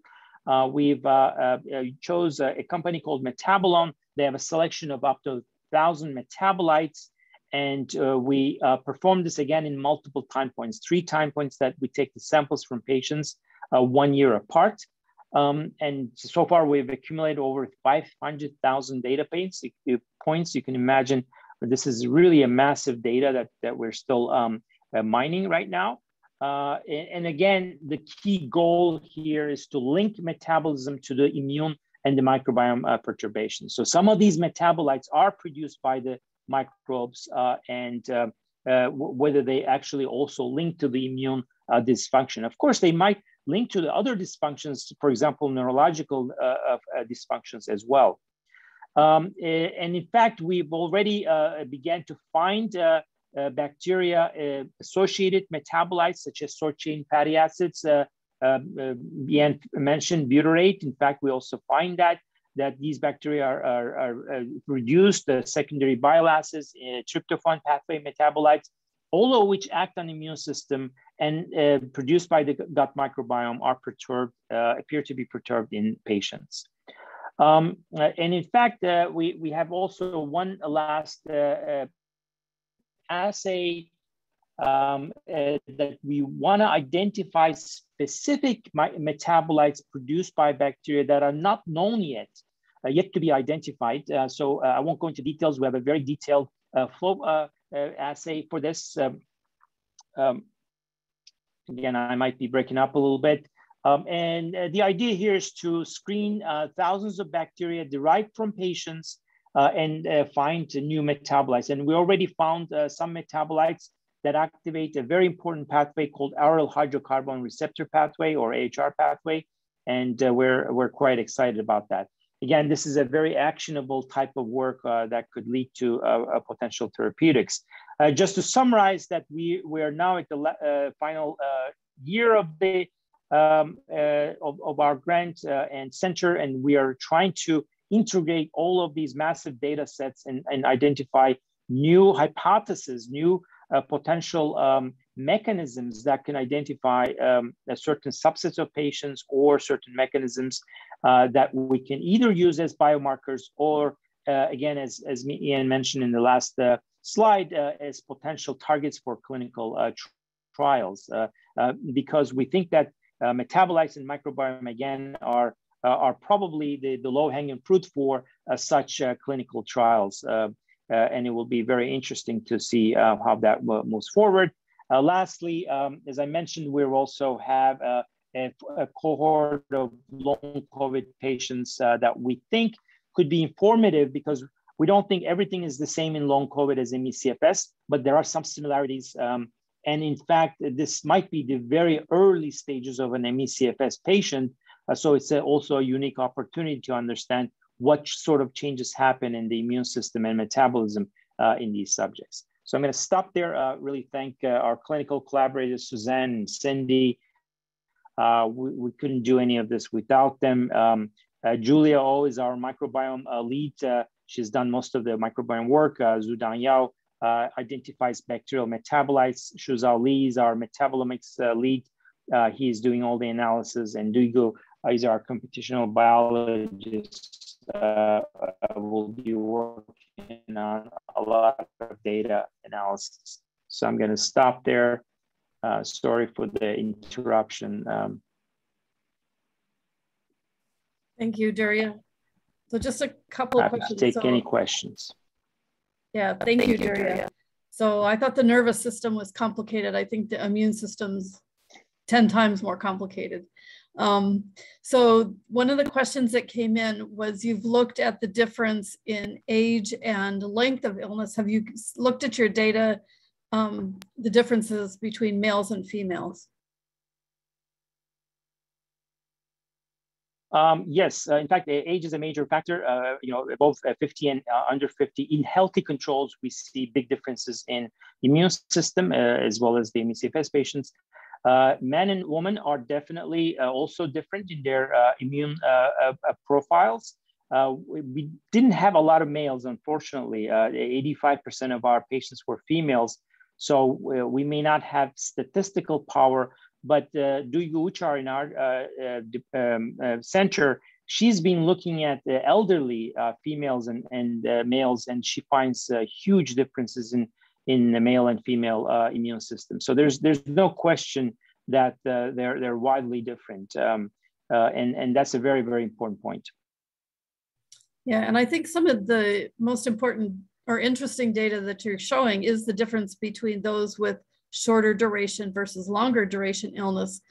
What do you think is happening that is that difference? Are the individuals with longer duration illness compensating in some way or, or what, do you, what are your theories there?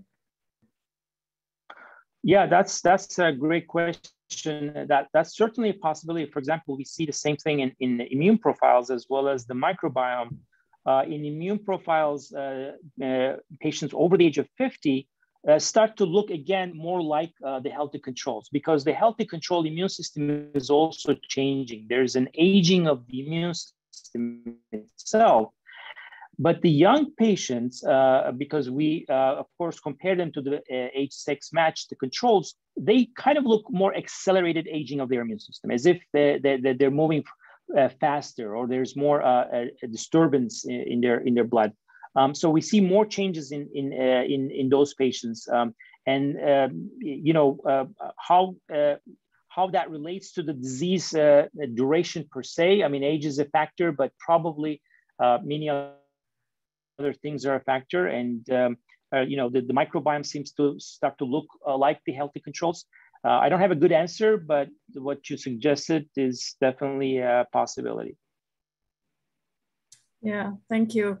And just can, if you could just sort of reiterate what the MAIT cells are, because those are, I think people might not be as familiar with MAIT cells, what their role is. Yeah, MAIT cells are very interesting. So they're called non-classical T cells uh, because normal T cells recognize peptides uh, derived from any type of a protein that's presented by what's called an MHC molecule, whereas MAIT cells this, uh, recognize small molecules, metabolites, uh, from uh, one that's known uh, is from a, a riboflavin pathway. riboflavin is vitamin B2, which is produced by bacteria. As bacteria is producing this uh, vitamin, it goes through different stages of the metabolism and it produces certain metabolite byproducts. And one of those actually bind to uh, MAIT cell receptor and activates it. Uh, we think there are other ones like that. So they, they really are sensing uh, those bacteria that are producing this metabolite very directly. Um, uh, and they're, they're actually uh, very large in, in population. They're not few. Some people have uh, up to 30% of their subset of T cells uh, formed by these cells. Uh, others have only 1%. And there's such a huge variation in numbers. We think that could be a reflection of their microbiome. If those that have very active microbiota uh, maybe um, have more MAIT cells, that they need more MAIT cells. Uh, but it's a very interesting, they're cytotoxic. They can kill intracellular bacteria like salmonella, for example. So that, that's another of their function. Uh, they seem to play a role in COVID actually, uh, and they go into the lungs. Uh, it's, it's a very interesting subpopulation that we still need to learn more. Great, thank you very much, Derya. So back to you, Phil, for the for the break. Yeah, we're just gonna go straight to break, so you don't have to look at me. And take it away, James.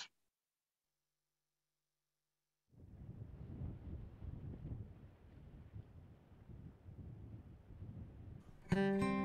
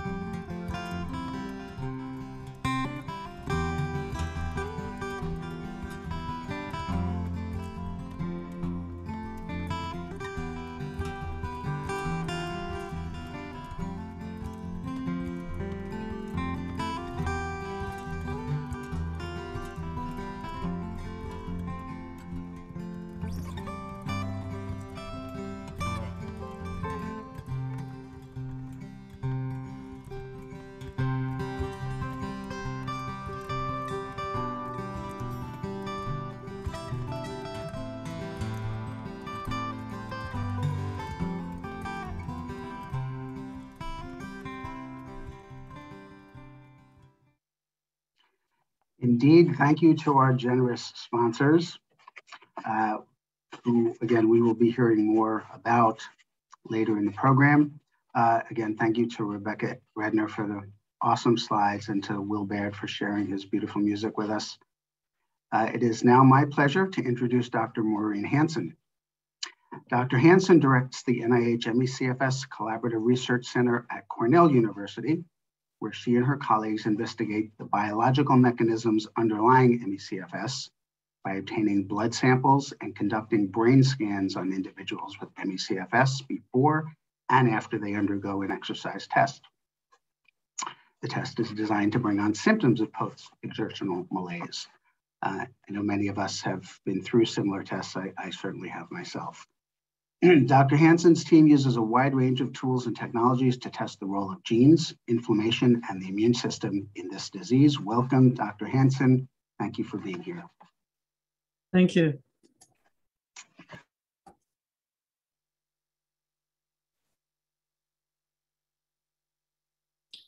Okay, so I want to give you a glimpse of what we're doing uh, in our center. I can't go into detail about uh, our work, but I'm going to try to give you a couple slides on almost every project um, that we're doing, although I will say we do have some additional projects I really don't have time to describe.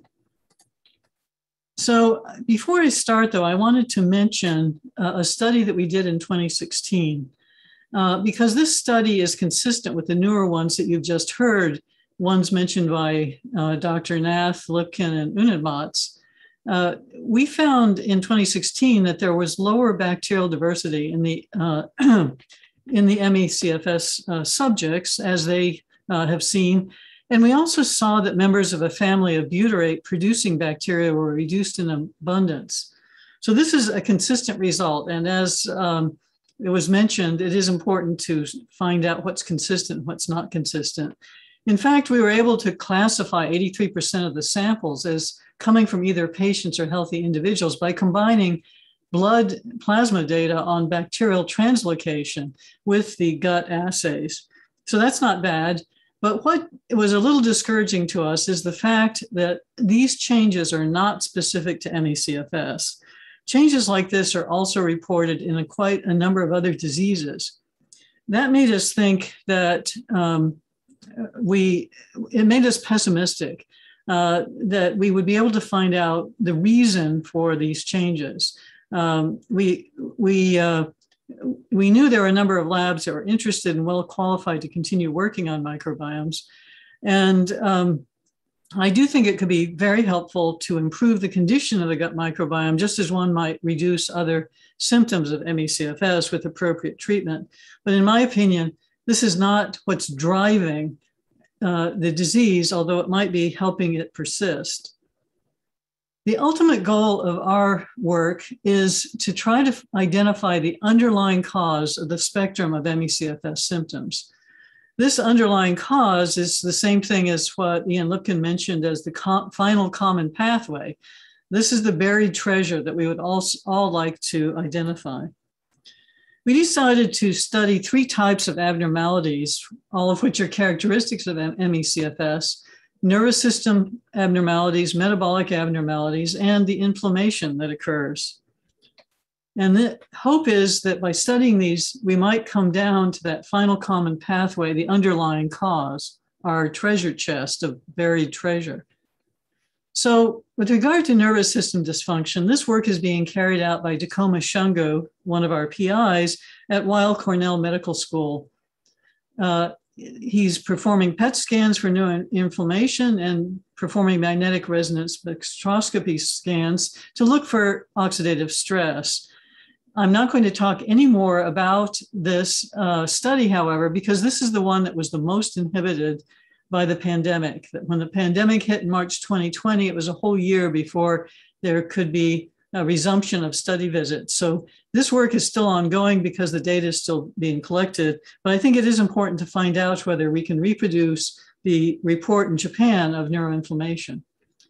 Next, I'd like to talk about our work on metabolic abnormalities.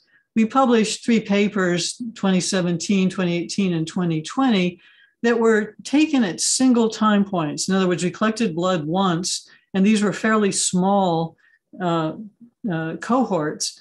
Uh, but we are now expanding this in our current studies. Uh, and I'd like to describe just briefly what we're up to as far as uh, e examining metabolism. Uh, we're looking at plasma metabolites of 105 subjects, 45 controls, and 60 ME/CFS cases. And the reason for this number, while we'd already originally hoped to have 90 and 90, and we will eventually have that number, is that on March 2020, 105 subjects is what we had in hand before we had to stop temporarily collecting any additional blood. Metabolon has sent us the information for 933 metabolites that they've identified. And we also have 224 metabolites whose chemical structure is not known. Their relative abundance can be measured, but we actually don't know what those metabolites are. This work was presented by Arnaud Germain, who is spearheading this uh, project in my lab at the IACFS ME meeting. The most significantly different metabolites are lower in ME/CFS, and this is consistent with other reports of hypometabolism uh, in the disease. But if you look at this, and these are three different of those unidentified metabolites, which uh, uh, ironically are the ones that are the most different between patients and controls, you'll see actually that there's considerable overlap between the abundances of these metabolites between the controls and ME/CFS. So it's not likely that a single metabolite or even a couple metabolites would be able to give you a diagnostic test or a, good biomarker for the disease. On the other hand, uh, you can get trends and you can look at pathways, and you can also look at how metabolites change uh, after uh, a provocation. So what we have been doing is uh, using provocation to study how metabolites and other molecules change in response to exercise and after induction of this post-exertion malaise. So individuals have their plasma collected before and after a maximal cardiopulmonary exercise test. Then 24 hours later, they come back to have their blood drawn again. We get uh, uh, blood that represents from the patients. Most of them will have post exertional malaise by that time. They do another maximal exercise test and we collect blood again. So the first two samples give us a measure of the immediate effect of exercise. And then after 24 hours, the second and third samples give us a measure of the extent of recovery. And uh, then when they come back for the patients, we're looking to see what happens during exercise after uh, post-exertional malaise has already been induced. So I don't have time to go into detail, but I did want to point out some of our data. And that is that we've detected some pathways that are altered at all four time points. So these are pathways that are independent of the induction of post-exertional malaise. These are pathways that have some problem uh, no matter what your state is. We also have pathways that are affected by exercise, but that recover after 24 hours. So these are pathways that, while they're abnormal immediately after uh, exercise, the levels are disturbed and there's something going wrong during exercise, they do recover. And one thing that's interesting is because you heard about the citric acid cycle uh, earlier from Ian Lipkin, is the citric acid cycle actually recovers after 24 hours. So we feel that that is not causing post exertional malaise. But there are some altered pathways that are not restored during the recover period. And these are the pathways that could be involved in post exertional malaise that's induced by 24 hours later. So, next, I want to talk a little bit about immune cell metabolism, which is part of this inflammation. Uh, immune cells use various types of energy to maintain themselves and to be able to respond to activation signals because when a signal comes in, some pathogen invades, for example, they have to uh, change their metabolism, they have to proliferate. Uh, so they, uh, they have to do this so they can respond. And it's very typical for immune cells to have an increase in glycolysis. Fatty acids are used to synthesize membranes to make more cells. And amino acids are used to make proteins, which can be for signaling or to make more cells. So we published a paper in 2020 in which we specifically examined two types of T cells, CD4 T cells and CD8 T cells. What we found is there was normal mitochondrial mass in these two types of cells, but the CD8 T cells had lower mitochondrial membrane potential. meaning they could not respond as well. And both types of cells exhibited lower glycolysis. So these cells are impaired in, in their function. A current study led by Jessica Maya uh, in my group uh, concerns fatty acid oxidation by immune cells, and she's been finding abnormalities in fatty acid oxidation in T and NK cells.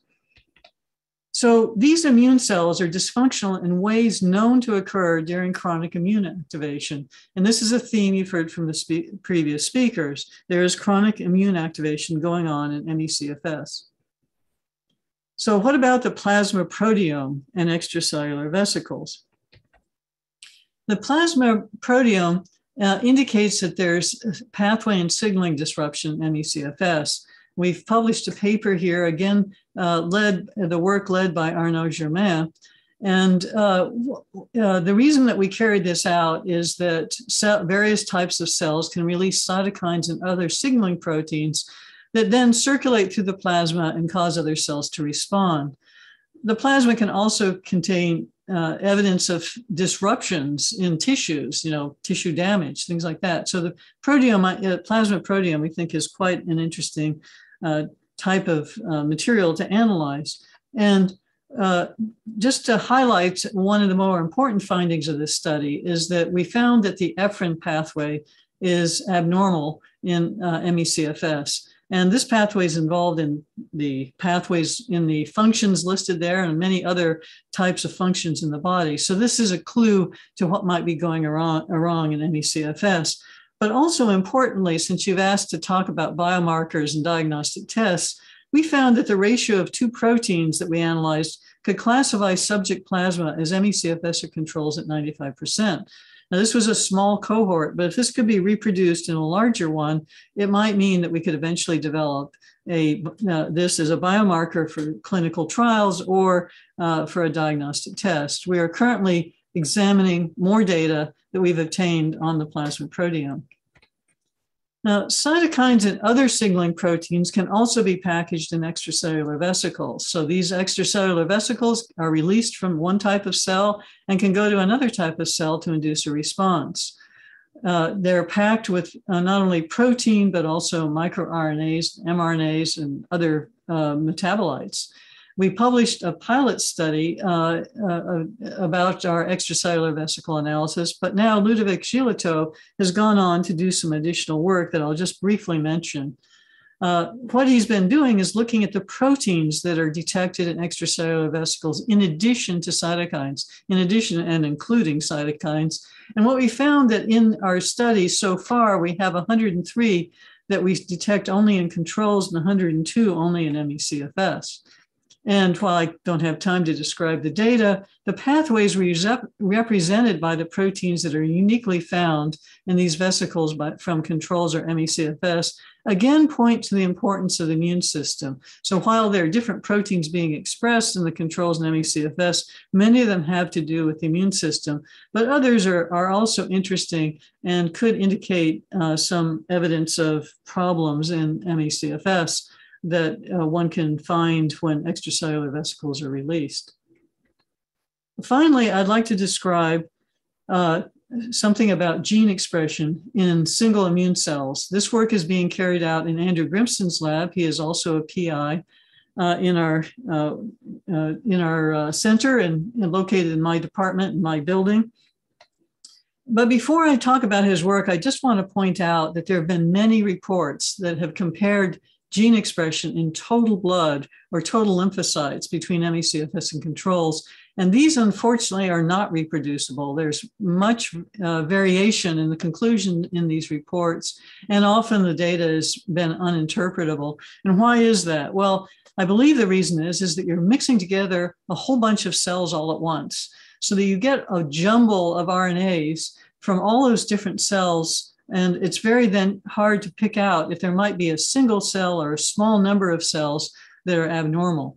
So uh, what we're the tack that the Grimson lab has taken is to compare each individual type of blood cell uh, to provide greater resolution to identify differences. So if you look at that bad cell in the ME/CFS uh, there, you'll see that there's red RNA transcripts that uh, are obviously abnormal, and in, uh, while those there's more blue transcripts in the normal uh, ME/CFS cells. So this is the kind of information we want to have. We want to have greater resolution to be able to find out what's actually going on with uh, these immune cells.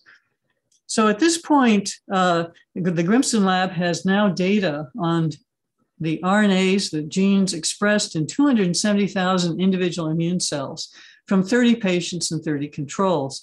And on the right, this data is displayed. And it's not really important to understand how this graph was created, except to know that each one of these dots on this graph represents the constellation of transcripts present in a single cell. And if two dots are close to each other, it means that the constellation of genes expressed are, are similar. So the closer they are, the more similar they are. So by making this kind of analysis, one can, uh, and actually looking at what those genes are, one can divide the immune cells into different types. So for example, there's CD8 cells here, there's uh, some CD4 cells right here, the pink ones. Over here, we have some monocytes. So we can look at the transcripts present in different types of cells. And of course, uh, the data is still under analysis, but to just give you a glimpse of some of the interesting things that one can find out doing this is that we uh, actually have this data from before the first exercise and before the second. So we can look at the effect of exercise on immune cells. And the y-axis here is differentially expressed genes uh, uh, between cases and controls. And each one of these bars is a different cell type. So you can see that some cell types have a lot of differentially expressed genes, while other cell types have very few differentially expressed genes. So these are probably not as interesting as these ones with a lot of uh, differentially expressed genes. And just to give you an example, here's a particular cell type that has differential expression before the first exercise, but after uh, after the uh, post-exertional malaise has been induced, there's actually a lot more differentially expressed genes uh, in that particular cell type. So this data is under analysis, and I think it's going to be extremely important. Also, using a machine learning approach and this single cell gene expression data, uh, the Grimson lab was able to distinguish the ME/CFS patients and controls at about 95%. So again, further work might allow this kind of study to give us a biomarker to, again, use for clinical trials or a diagnostic test. Our future plans are similar to what you just heard about. We all need to complete our data acquisition, but then examine the different types of data together. We think that by examining all these different types of data, we might be able to get down to that underlying cause. I'd like to just end by saying something about this question. What, what has the existence of long COVID done for ME/CFS? I think it one thing it's done that's important is demonstrated that almost all ME/CFS may be post-infectious, even if patients don't think it is. And the reason I say that is that uh, long COVID has shown us that you can have an asymptomatic case of a virus and yet develop symptoms later. And this could be going on in ME/CFS. I have never believed people who've told me they got ME/CFS because they had stress from losing their job or some other uh, psychological stress or event. Uh, we have recently published a review article suggesting that enteroviruses are a, a possible uh, asymptomatic, asymptomatic, disease that could uh, have triggered ME/CFS. And uh, I think it's also made doubters realize that post-viral syndromes are real and serious biological illnesses. But I'd like to end by saying we have common symptoms, but we don't know yet whether they're the same underlying mechanisms. Is long COVID really ME/CFS, or is it different? We know that Gulf War illness is not identical to ME/CFS, and it may turn out that long COVID is also not identical, even though it uh, has similarities in symptoms. So what we need to do is to compare long COVID and pre-2020 ME/CFS to see if there are underlying causes common to both illnesses and what's different. And I'll stop here. You can look at our news tab to learn more. And I'll just leave end by saying I need to acknowledge a number of people, but I don't have time to list out individuals. Thank you. Thank you very much, Maureen. There are some specific questions for you, but I think we'll come back to them in the discussion at the end. Thank you very okay. much. Thanks, thanks, Vicky, and uh, and thank you very much. excuse me, Dr. Hanson. Uh, you know, before introducing Lucinda Bateman, who's our final speaker, um, I just want to I just want to make clear to uh, everybody watching today that uh, these researchers um, have been asked to boil down millions of dollars and thousands and thousands of person hours of work into 15 minutes. And uh, that's a big ask. And uh, everyone's doing a fantastic job. And um, thank you so much.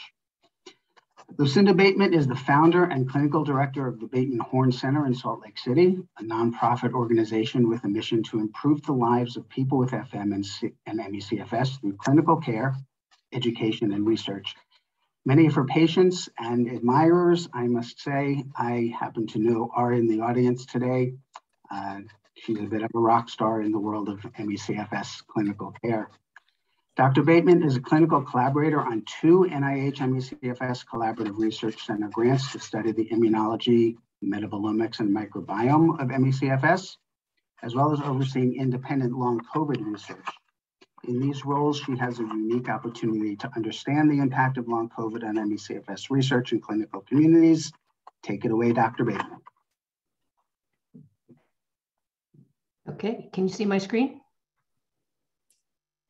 Yes, we can. Okay, thank you. Well, it's really a pleasure to be here. I just love uh, being in the position I've been in for the last few years, uh, being able to be part of clinical research as well as seeing patients.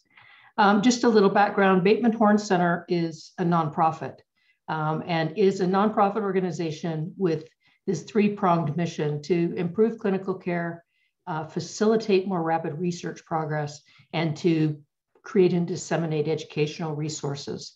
And this, were, this specifically involves ME/CFS, fibromyalgia, other post-viral syndromes, and these related comorbid conditions, with our main focus on ME/CFS. And, you know, there's so many gaps, but uh, there a few of the big gaps in clinical care and research for ME/CFS I'd like to highlight because this is how we designed our grants and what we've been working on in the last few years. The first is we have almost no understanding of early stages of illness. And our research, our clinical diagnosis, our case definitions are really based on people who've been sick for many, many years. So the long COVID pandemic has created a unique opportunity to study early onset post-viral illness. The second is the medical community has little awareness or skill in the diagnosis and treatment of orthostatic intolerance conditions. And we know this is present in ME/CFS and dysautonomia is proving to be a common feature of long COVID as well. So it's important that clinicians know how to recognize it and, and what to do about it. There are also few accessible tools, especially objective tests that clinicians can use to diagnose ME/CFS, design treatment, and provide support for disability, et cetera. We're getting a few more, but it's still, by and large, the, the, the general community of clinicians really don't know how to, uh, how to use tools that are reliable. And the long COVID pandemic has created really an overwhelming and urgent need for clinicians to recognize long COVID and uh, at least until the science catches up with the delivery of medical care. And this is really familiar to us, but I think that everyone with ME/CFS will eventually benefit. So the, the main reason we started uh, looking at long COVID uh, at BHC was to compare long COVID and early post-viral illness to ME/CFS, a long-standing illness, as we've talked about here. Second is to learn about the presentation of long COVID and try to determine what's causing it to help us understand ME/CFS. And to determine if understanding long COVID can help improve ME/CFS diagnosis and treatment. So we have a relatively small project of seeing long COVID compared to the rest of our clinic, and we hired two new providers to carry this out so we wouldn't dilute the care and attention we give to our ME/CFS patients.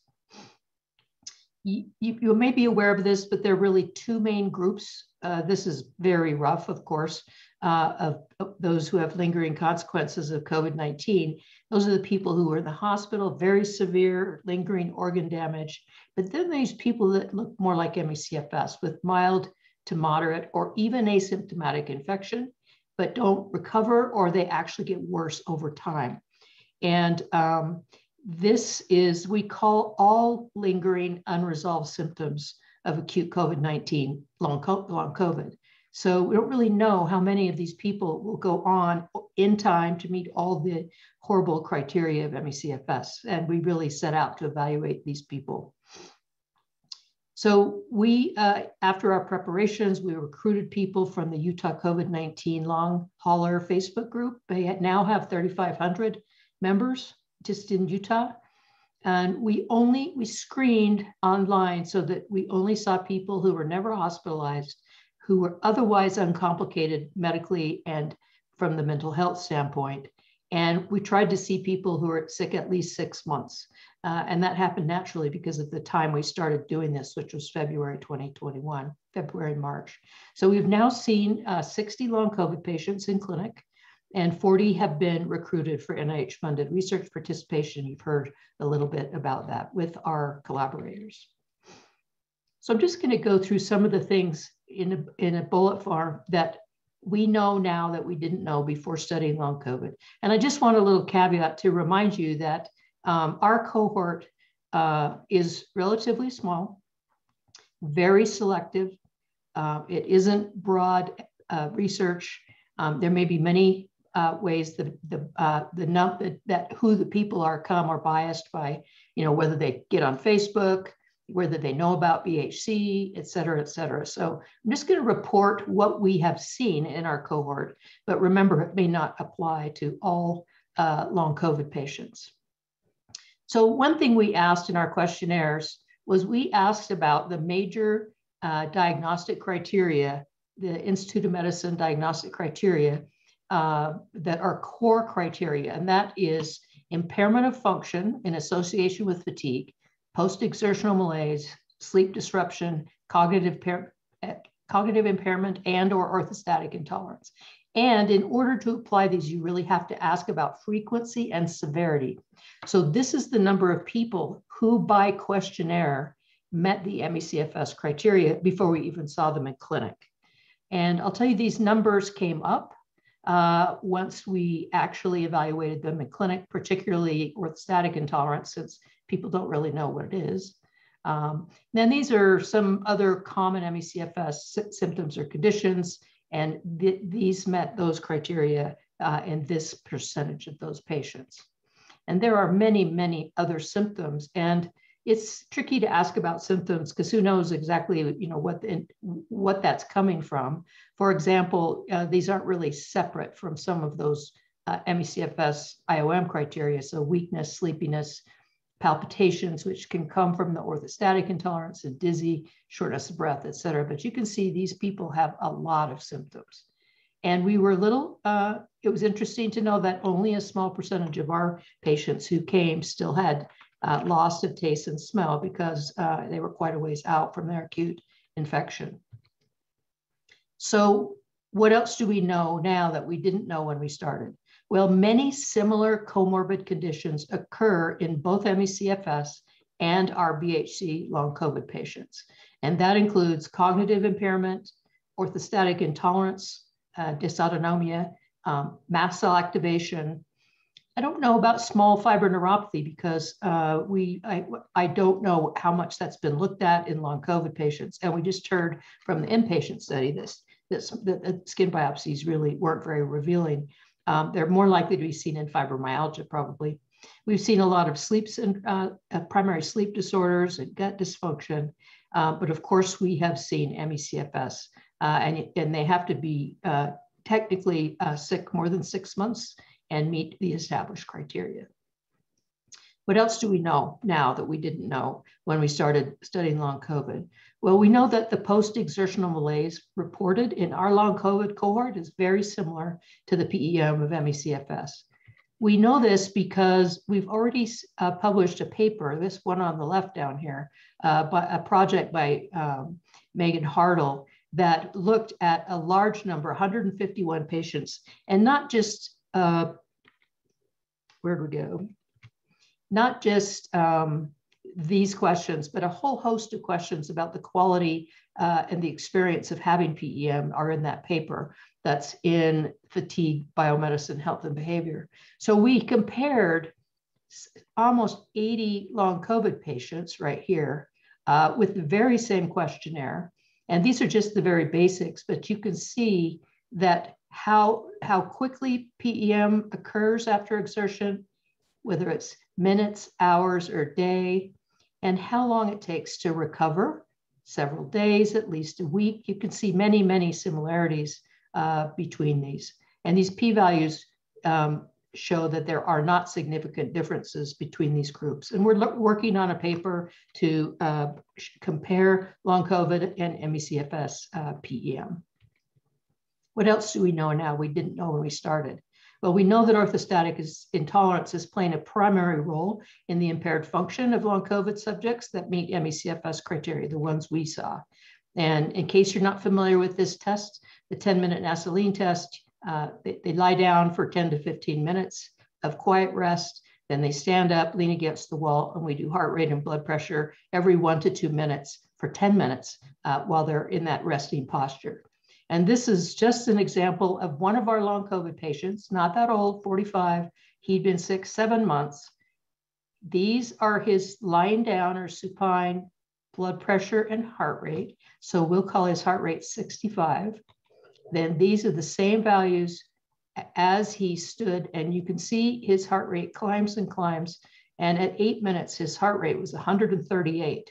Um, plus, you can see him developing physical signs and symptoms over here. So his heart rate went up 73 beats per minute just from quiet standing. So this is quite severe POTS. You only need a 30 beats per minute heart rate increase uh, to be diagnosed with POTS. And we have seen some kind of orthostatic intolerance or dysautonomia in many, many of our uh, long COVID patients. We've almost started to doubt they have long COVID if we don't find it.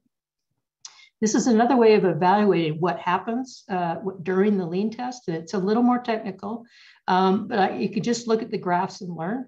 So there's something called narrow pulse pressure, and that means that you're the, it reflects the venous pooling and the lack of return of blood to the heart. So pulse pressure is very simple. It's it's just the difference between the top and the bottom, the systolic and diastolic number. So blood pressure 120 over 80 has a pulse pressure of 40. Then to normalize this across everybody's different blood pressures, you, you measure the pulse pressure over the systolic blood pressure. So this example, that it would be 33, this equation. That line right there of 25 is considered so abnormal, it might be a state of shock uh, from sepsis or heart failure or anaphylaxis. And you can see there's just two different ways of looking at, at this, but healthy controls stay well above that line. Our uh, MEC, MECFS patients, and this is our whole population. We actually did a paper that shows that the early onset MECFS are probably somewhere in between these two.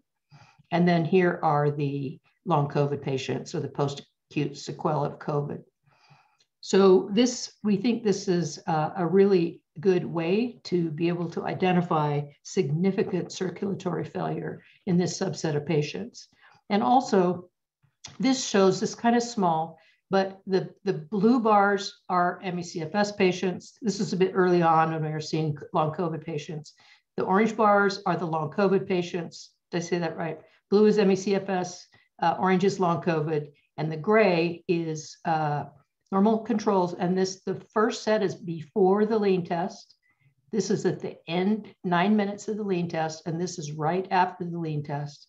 And you can see that fatigue, brain fog, being lightheaded or dizzy, nausea, breathing discomfort, and pain anywhere are really very, very similar in ME/CFS to uh, and, and long COVID patients compared to healthy controls.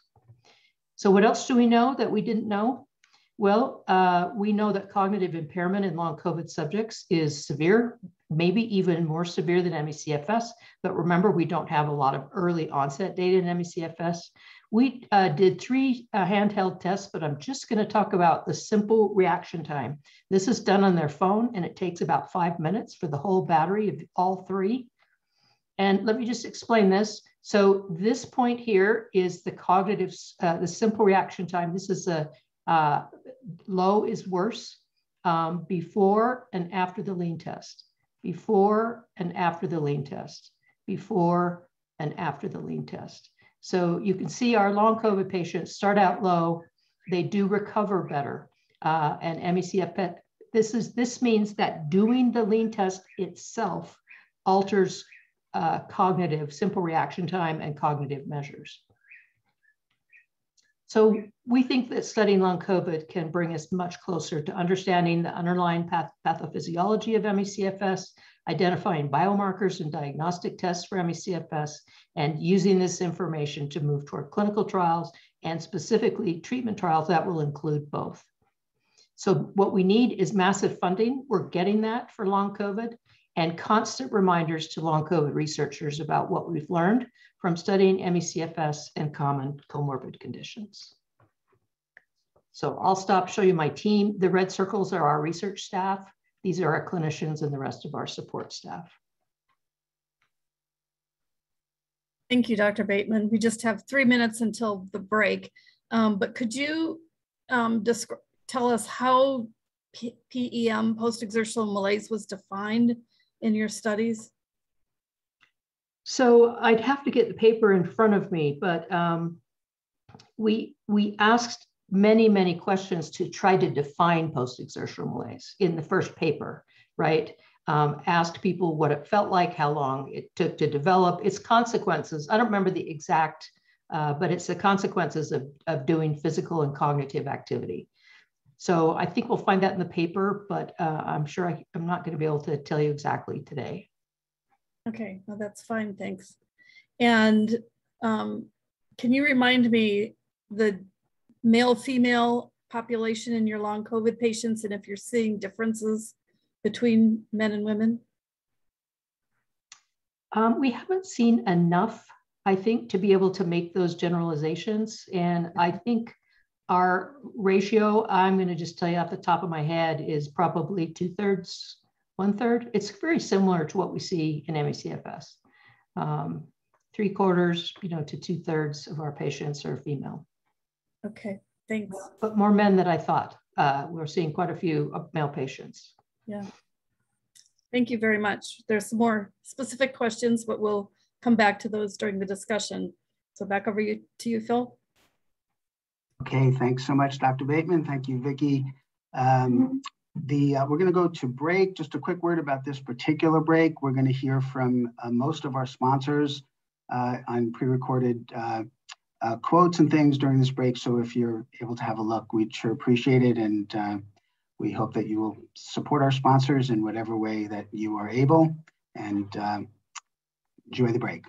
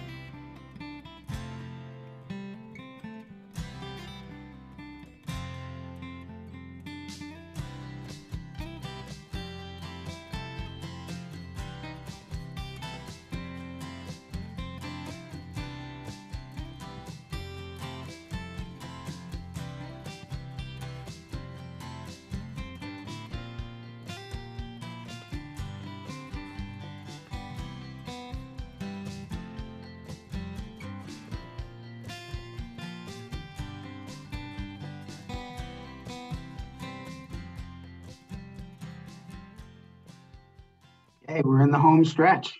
Welcome back. I hope everyone is rested up. Uh, we are going to welcome back all of our speakers and Dr. Whittemore. And uh, I am going to leave the Q&A in the capable hands of Dr. Whittemore. I can say from personal experience that this is a tough job and I wish you luck. Uh, we're looking forward to hearing the questions and uh, hearing the answers. Thank you so much. Yeah, thank you, Phil. So first, thanks to all the speakers for really fantastic presentations today. It's a dazzling amount of information that's been presented. Um, so I'm gonna, what I'm going to do with this discussion session is answer a couple of questions that came in specific to NIH funding. Um, and then there were a couple, some specific questions that I'm gonna direct to some of the speakers individually, and then sort of pose some broader questions for all of you to address.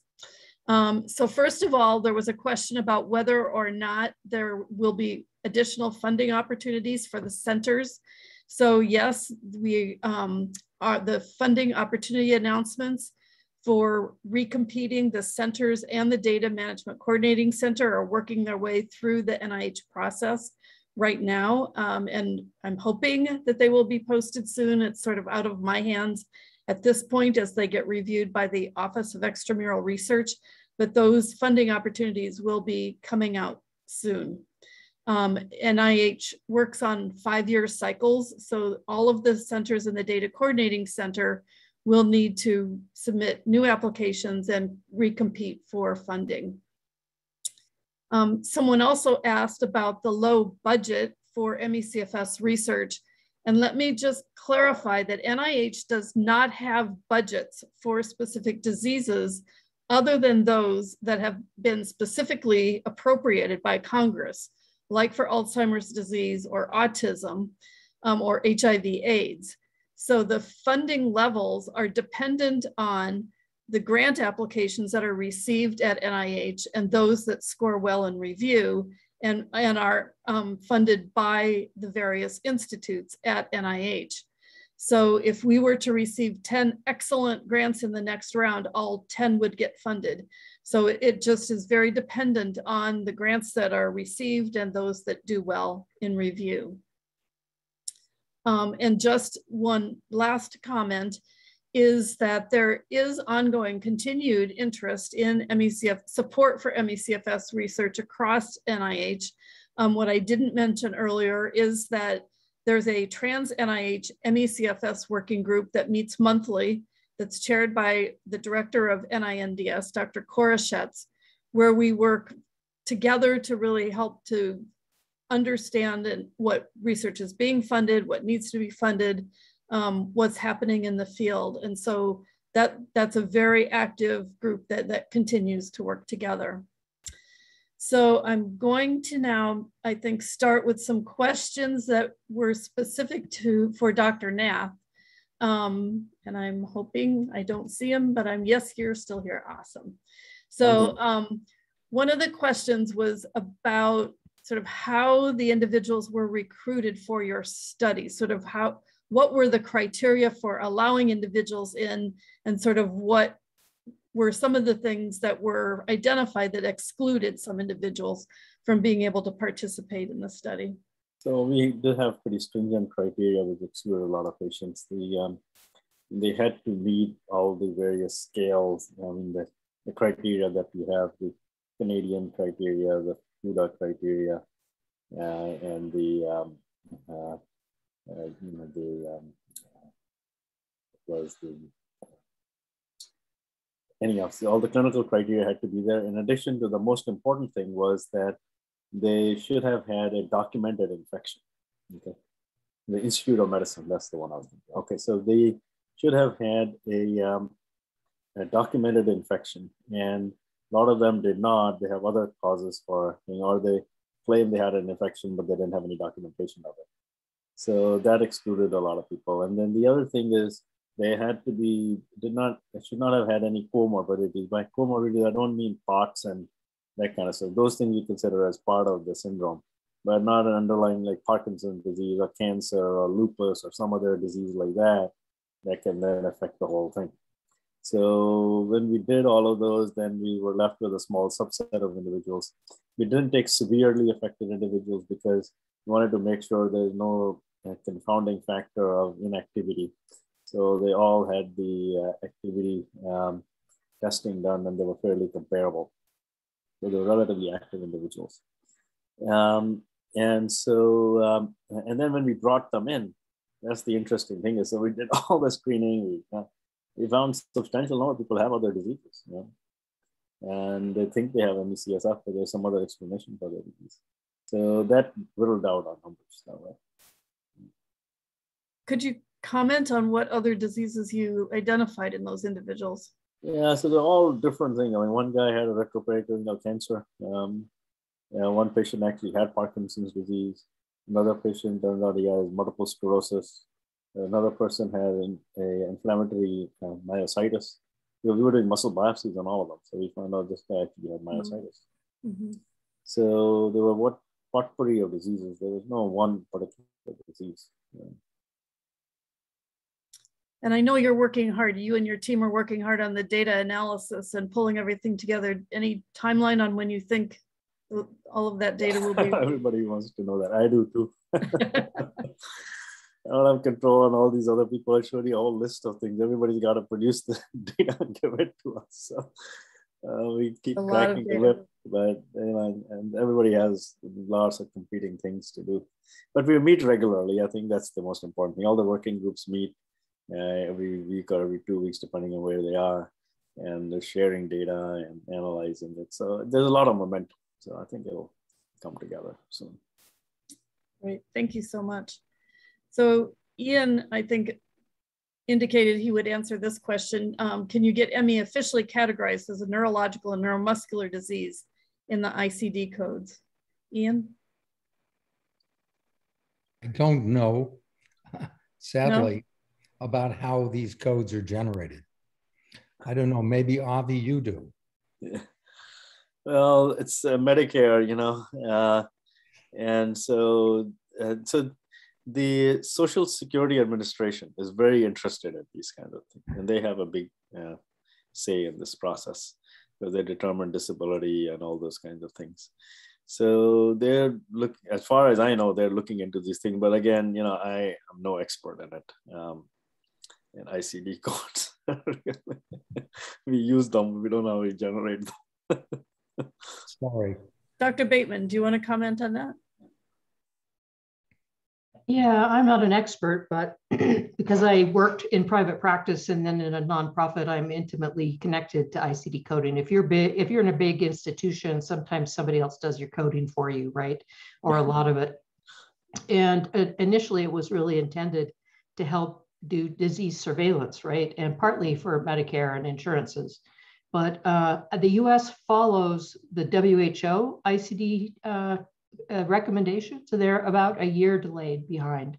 Um, and so there's a lot of uh, pressure to not uh, rock the boat, kind of, right? Because there's a big established way of doing it and we can make some changes, but it's just a huge, big, complicated institution with many players. And it's quite difficult uh, to get change to happen. But uh, I think that they're hearing the message uh, uh, the last few months. It is a big problem. So is it generated by WHO or? WHO has their own recommendations for ICD codes, and then the US does their own, but it's uh, always after and based on what WHO does to some degree. Yes, and the, the, the problem is the, the problem is most doctors don't pay any attention to coding uh, when they're uh, coding their diagnoses. And even our electronic health record, uh, well, this is a good example is this, the CFS code disappeared with ICD-10 coding. It was in ICD-9, uh, but they didn't replace it with something that was appropriate. So uh, it's a very complicated uh, conversation that's too, too big for this, this forum here. Okay, so I'm going to um, jump to a question to, for Maureen and then maybe a broader question. Um, is there any evidence of higher incidence of Epstein-Barr reactivation in ME/CFS patients or and or in post-exertional malaise? In, in our data, we actually don't have evidence for reactivation. Uh, that doesn't mean that other people don't. In our particular people that we looked at, are 105 individuals. We didn't see uh, good a lot of evidence for reactivation. However, um, that um, you know we didn't do every test that one might want to do to to determine if there was reactivation, and probably that's a question that uh, Cindy Bateman might want to address. I'd be happy to give it a try. sure. and yeah. I think I think uh, Ian can add in here too. It's very difficult to capture reactivation. Hmm. So reactivation means the cell that the virus comes out of uh, its latent state and starts to replicate. But from what I can understand, it could replicate local locally in local tissues and exert uh, an effect which would be very difficult to detect with PCR. Um, and then it can become more systemic. And so I've seen people occasionally have uh, PCR positive EBV or other viruses in certain gold standard workups, but the antibody titers cannot tell you uh, with enough uh, specificity or sensitivity uh, if reactivation is occurring. You have to capture and show the presence of uh, active virus to be able to prove it. So um, I have a couple of comments on this. The first is that we've now looked at three different large sets of patients who have ME/CFS as well as controls. And when we use PCR, which is the method that's used to detect genetic evidence of the virus being present, there's no difference between cases and controls. If you look at blood samples, which is the only thing that we can look at at present, the alternative approach, which is the one I alluded to in my last slides, was use antibody tests, which is evidence of the virus becoming activated in some part of the body that you can't sample. And we don't yet have that information. So I would hope that within the next six to 12 months, we will know the answer to that question. It's a good one because there are several examples I know where we have found evidence of EBV growing in people, and those people have responded to valganciclovir, which is an anti-herpes drug. It's likely to be a small subset of patients. Over. Can I add something really quick? Yeah, sure. A couple of interesting studies I remember emblazoned in my mind is that when astronauts come back from space and land, they can usually, you can usually detect PCR of herpes viruses in their saliva. So that stressor is enough to trigger reactivation, but not necessarily enough to create a disease state, right? Their immune system handles it. And I've also read a couple of papers about EBV and herpes virus reactivation in really sick patients in the ICU with COVID. So reactivation occurs when the body is very stressed and the immune system cannot uh, control uh, the rate of reactivation. So it's it's hard to catch, and we, I think it would really require a stressor, uh, a significant stressor, to be able to determine it. I would agree. I mean, the, the, problem with EBV is that it can not specifically get activated. Everybody's got it, and so it's like on the neurology consult service, which I oversee um, we get EBV positive in the CSF quite often in all kinds of patients with other unrelated diseases. We just ignore it because it's a you know it's positive there, just it gets reactivated and probably subsides. I don't think it really causes any disease. And so trying to figure out when it's actually pathogenic and when it's just a non-specific reactivation is a bit challenging. Same is true of HHV6. That's another herpes virus. I find it activated every Yes, I'm going to switch to talking about mitochondrial dysfunction. You mentioned that, Dr. Nath, about mitochondrial dysfunction in immune cells, and I know Maureen Hanson's group has looked at this as well. So maybe start with you, Dr. Nath, and then more ask Dr. Hanson to comment also. Yeah, so I mean, we've done two things. One is we did sequencing of the mitochondrial genome. Didn't really find anything unusual there. Um, uh, then the second thing we did was we looked at the mitochondrial respiration function. And, uh, you know, the most we did was we took the seahorse instrument and we took whole PBMCs. So they're not fractionated cells, they're actually whole PBMCs. And there is a, we found that they moved to anaerobic respiration very quickly. So, um, so that's really the major find there in these patients. And if you exercise them, you'll find that uh, your um, uh, findings get exacerbated. But there's a lot more that needs to be done to kind of sort out why is it, uh, where in the uh, pathway it's uh, changing, what cell types are actually uh, affected and which ones are not. So this is just a broad um, overview of uh, observation that we have at the present time.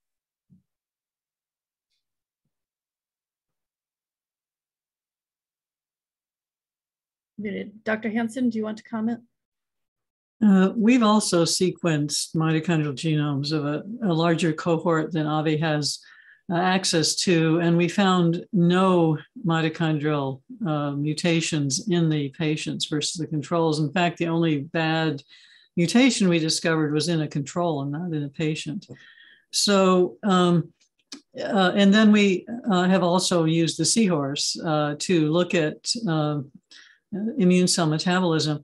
But the there's there's something that's confused in the in the literature a little bit, and that is that if you find a difference in mitochondria in immune cells, it doesn't necessarily mean that that's happening in the whole body. You know, because immune cells have specific ways of using energy and specific ways of responding to uh, challenges. So if you see a defective response in an immune cell, which sounds like uh, the NIH group and, and we have both seen that, uh, it means those immune cells are dysfunctional. It doesn't mean that your muscles are dysfunctional in the same way. And uh, obviously, this is something that we uh, might be able to get at by, by studying metabolism. Uh, those plasma metabolites may give us a clue as to mitochondrial dysfunction. But right now, there actually is not a great deal of information about mitochondrial dysfunction in the entire body. Yeah, so we looked at muscle biopsies also. We didn't find anything there. Yeah. Mm-hmm. We did the sequencing off of there. We did the histology on them. Yeah. Yes, uh, but Avi and Maureen, functional aspects may nonetheless be down. And I think that's what we're also seeing. I mean, as there are mitochondrial pathways that are clearly not working properly. I think you've seen that, Maureen. I've seen that, Avi, you've seen that. So there has to be some effect. And the question is where and how. Maybe it's epigenetic. Maybe there's some other factor. Maybe it's related to cytokines. All of this remains to be teased out. But there's no question but that mitochondrial function is impacted in ME/CFS. Ian, would you, Ian, would you talk, tell everybody a little bit about what epigenetics is? So most people are familiar with genetics, which is looking at the original structure of the DNA.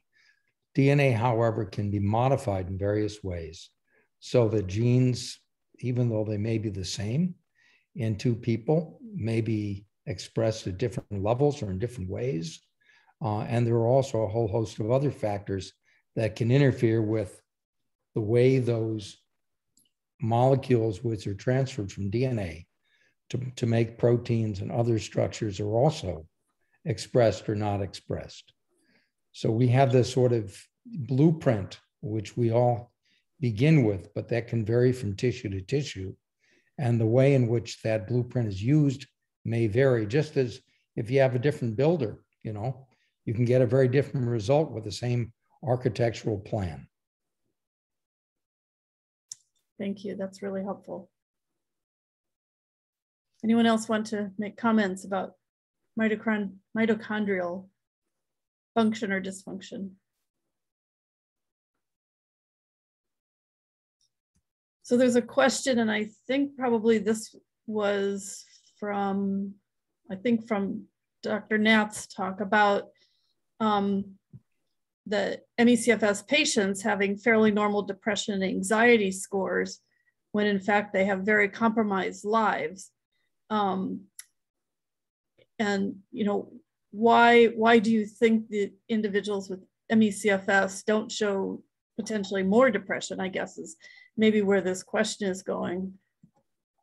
Yeah, I mean, I'm sure there are some people who are more depressed. So in, it could in part be the bias of the population that we selected. And if they had major depression, we excluded them. You know?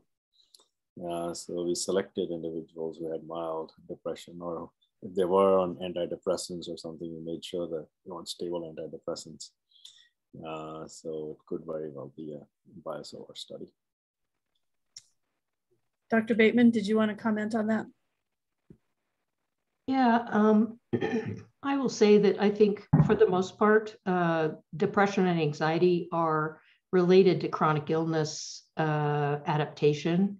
Um, and what we've been seeing in our long COVID community has just dramatically reminded me how hard it is in the beginning stages of illness.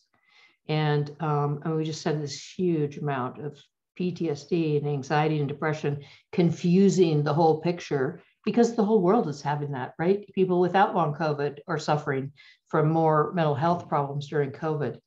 And the more people adapt to their illness, the more their mental health symptoms resolve, uh, except for the possibly, you know, normal incidents of other more primary mental health problems. It's just my clinical observation. See, that's a very good point. I mean, the COVID patients have gone through a lot. I mean, you know, they've lost family members, they've lost friends.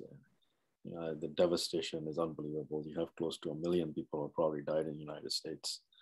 Um, you know, the official numbers are 700,000, unofficial are close to a million. And this is uh, the devastation very different than with MECF with MECFS.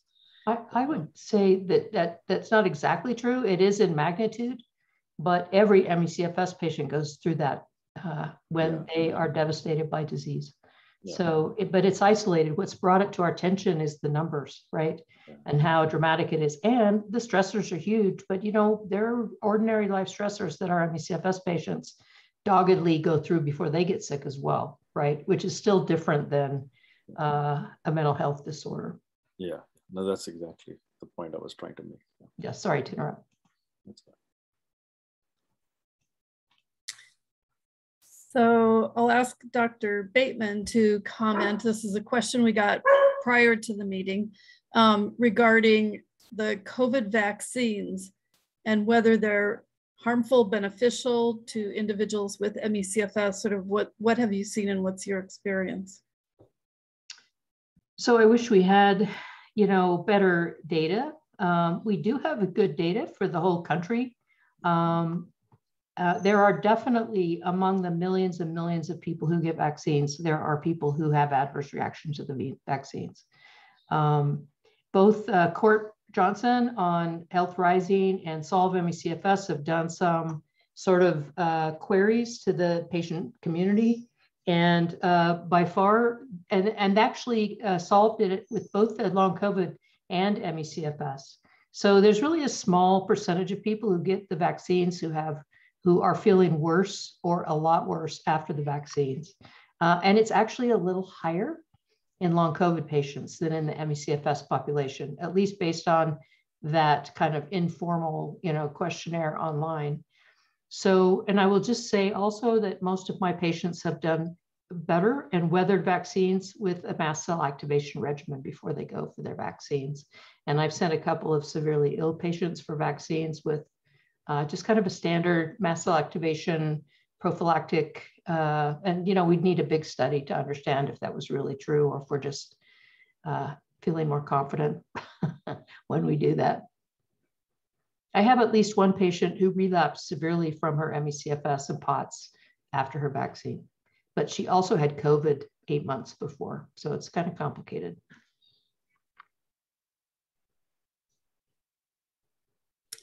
So there are questions, quite a number of questions about treatments. Um, for example, the, your thoughts on the use of low dose naltrexone.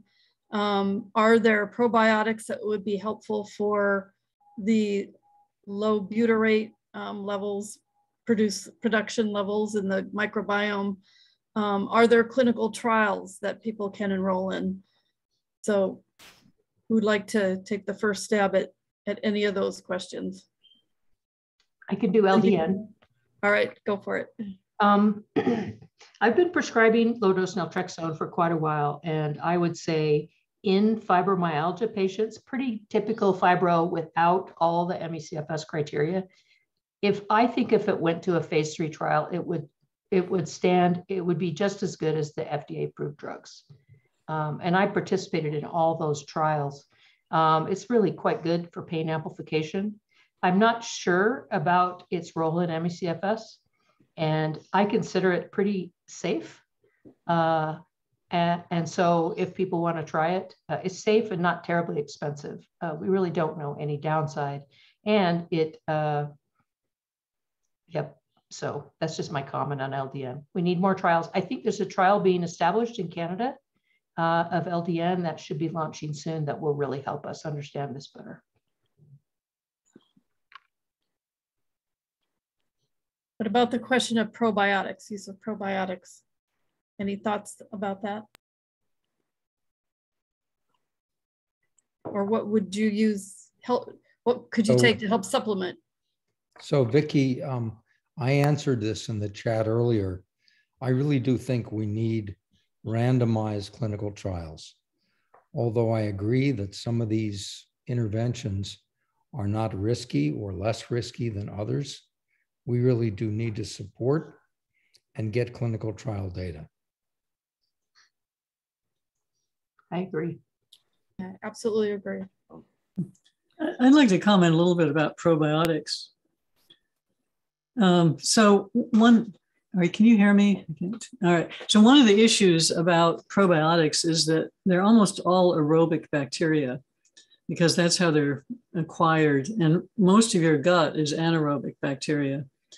So while probiotics might, you know, help, uh, the something that is found to be more helpful are those fecal transplants because they can, you know, replace your anaerobic bacteria also. However, we don't know in ME/CFS yet because those clinical trials for the fecal transplants are have been held up. There was one in Norway and one in the UK. So I, I do think we have to know from clinical trials, but I'm a little, um, uh, like Ian said, we have to be a little wary of probiotics because I found some papers in which people did do clinical trials for various diseases of a probiotic, and it actually made some people worse. So it's not completely um, innocuous to take a probiotic. Um, and then the other thing I noticed there are some questions about butyrate uh, and whether you should take butyrate. And that's another thing that um, is difficult to, uh, to answer. I will tell, tell you that when we looked at the butyrate amount in our 105 uh, person cohort, we didn't see any difference in the amount of butyrate in the plasma. So uh, the amount of butyrate in your gut could be quite important, as Ian has pointed out. But what's in your plasma isn't different. So, uh, if you wanted to improve your gut, you know, butyrate amount, I'm not sure we know how to do that. And um, you know that that would be something that would have to be investigated.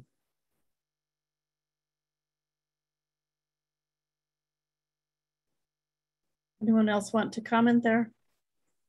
I, I mean, I would endorse the statement that both Dr. Hanson and Dr. Lipkin have made about the importance of clinical trials, even if you have a medication that you think is extremely innocuous. Know, just multiple examples. If you practice medicine for a while, you know that there are so many examples of where we think, you know, all the scientific rationale is very solid. And we should just go ahead and treat patients. And then you know, you get surprised and humbled um, to find out that you actually ended up, you know, all your intentions of helping patients, you end up harming them. Uh, a good example is TNF antagonists in multiple sclerosis. Huge body of literature showing that TNF is bad. It causes demyelination, this, that, and the other. Animal models show that, in vitro models do that. And then we took a TNF antagonist, and rheumatoid arthritis, it works works in all these other diseases. Gave it to MS patients, relapsed, you know. So now it's contraindicated in MS patients to have TNF antagonists. The same thing with ALS patients, uh, ceftriaxone. A huge body of literature how glutamate is bad and you can block its transport with it. Animal models show it works, this, that, and the other. Give it to ALS patients, they got worse. He said, well, it's an innocuous antibiotic. Everybody takes it. What's the problem? Minocycline, another example. It's an antibiotic. Everybody takes it for acne. It should be good for you. Give it to MS patients, got worse. Well, there's huge body of literature showing it blocks MMPs, it blocks the MAP kinase pathway. All these things are bad. They're activated MS patients, should definitely work. And they're hurting them. So we shouldn't say that these things are innocuous. Let's just give it and see what happens. There's nothing to worry about. There's a lot to worry about. Um, um, you don't want to hurt patients. You want to help them. So I'm going to now sort of ask a broader question um, and sort of go to Dr. Hanson's trunk full of gold. Um, so how do we, with all of this data we now have from all of your groups plus other groups that are out there um, doing research on ME/CFS, how do we begin to now sort out what's cause and effect? And you know, how are you thinking about the next steps in, in your research in particular? So maybe I'll start with, with Derya with that question. Yeah, I guess that's the million dollar or billion dollar question.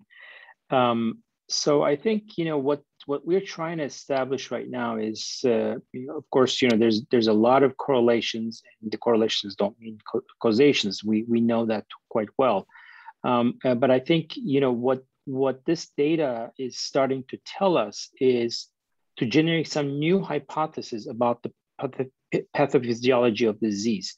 Uh, because I think, you know, we, we, didn't know what we didn't know.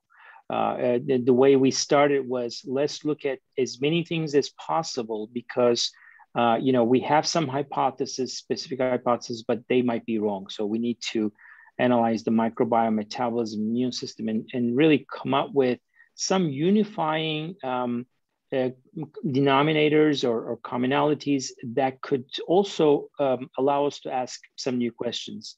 Uh, so that that's I think the primary goal. Um, and then the, I think the the other thing that's really really important um, is to do um, small uh, interventional trials. Uh, I think um, you know um, uh, you know we don't have a good animal model. you know I don't I don't think animal models in general are terribly great either, but um, uh, you know, doing smaller clinical trials with some uh, uh, uh some of these uh, um, agents that we discussed, but they need to be done properly, and then follow them very very closely to see actually, you know, um, if they are reconstituting or changing the, the, the biology of the patient, and does that reflect to their their symptoms? Um, so it's really um, sort of uh, setting the framework. Uh, um, uh, to be honest, I mean, uh, five years ago when we started, uh, uh, I wouldn't have guessed all the metabolites that we discovered and, and how this would link to the immune system. actually, we're learning a lot of new things about how how the immune system is is shaped by these metabolism. It's it's it's an incredible incredible world that we're just beginning to discover, which will be relevant for lots of other diseases as well uh, you know, as, as Maureen mentioned, we're looking at thousand metabolites and, and, and hundreds of them, we have no idea what, what they're doing. Um, and it's really uh, sort of uh, trying to figure that out uh, as well. Uh, not to mention all the all the stuff that bacteria produce uh, that that we need to figure out.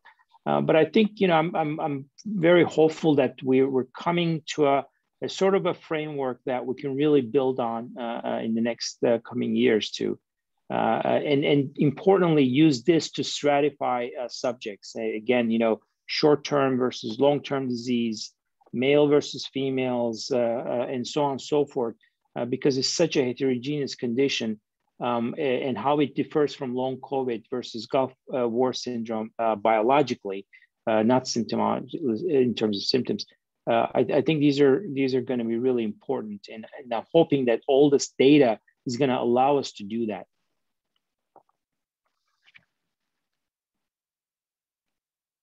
Dr. Hanson, I'll turn to you next to answer those, those questions. Well, I thought that Derya um, explained it quite well. What what we think is important is is to do multi-omics. So, you know, we we and other people too have acquired a lot of data, but and it's important to analyze it one at a time. So we want to look at metabolite by metabolites by themselves, by proteins by themselves, uh, you know, you know, meta, you know, mitochondrial metabolism by itself, et cetera. But what's really important is to cross correlate. And one thing that's very powerful is to have a lot of data on the same samples. So we think by having a lot of data on the same samples uh, and then doing cross correlation, we'll be able to identify uh, some important differences. The other thing is that we feel a strength of what we did was um, by having samples at four different times before and after a provocation.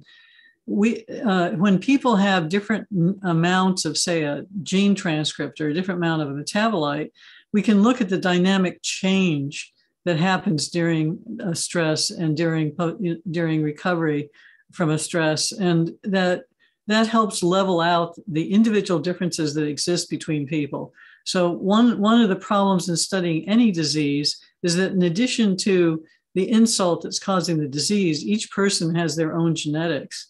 And so a lot of the, what people are saying is heterogeneous disease, it's because people are heterogeneous. And, and I actually think there is that final common pathway, but because people themselves, they are heterogeneous in what they eat, how they exercise, what their stresses are, their environment, and um, you know, and of course, more, very importantly, their infection history, their um, their genetics. So, so that's what makes it very difficult to study any disease, and particularly in, in this disease where we're studying people who've been sick for a very long time.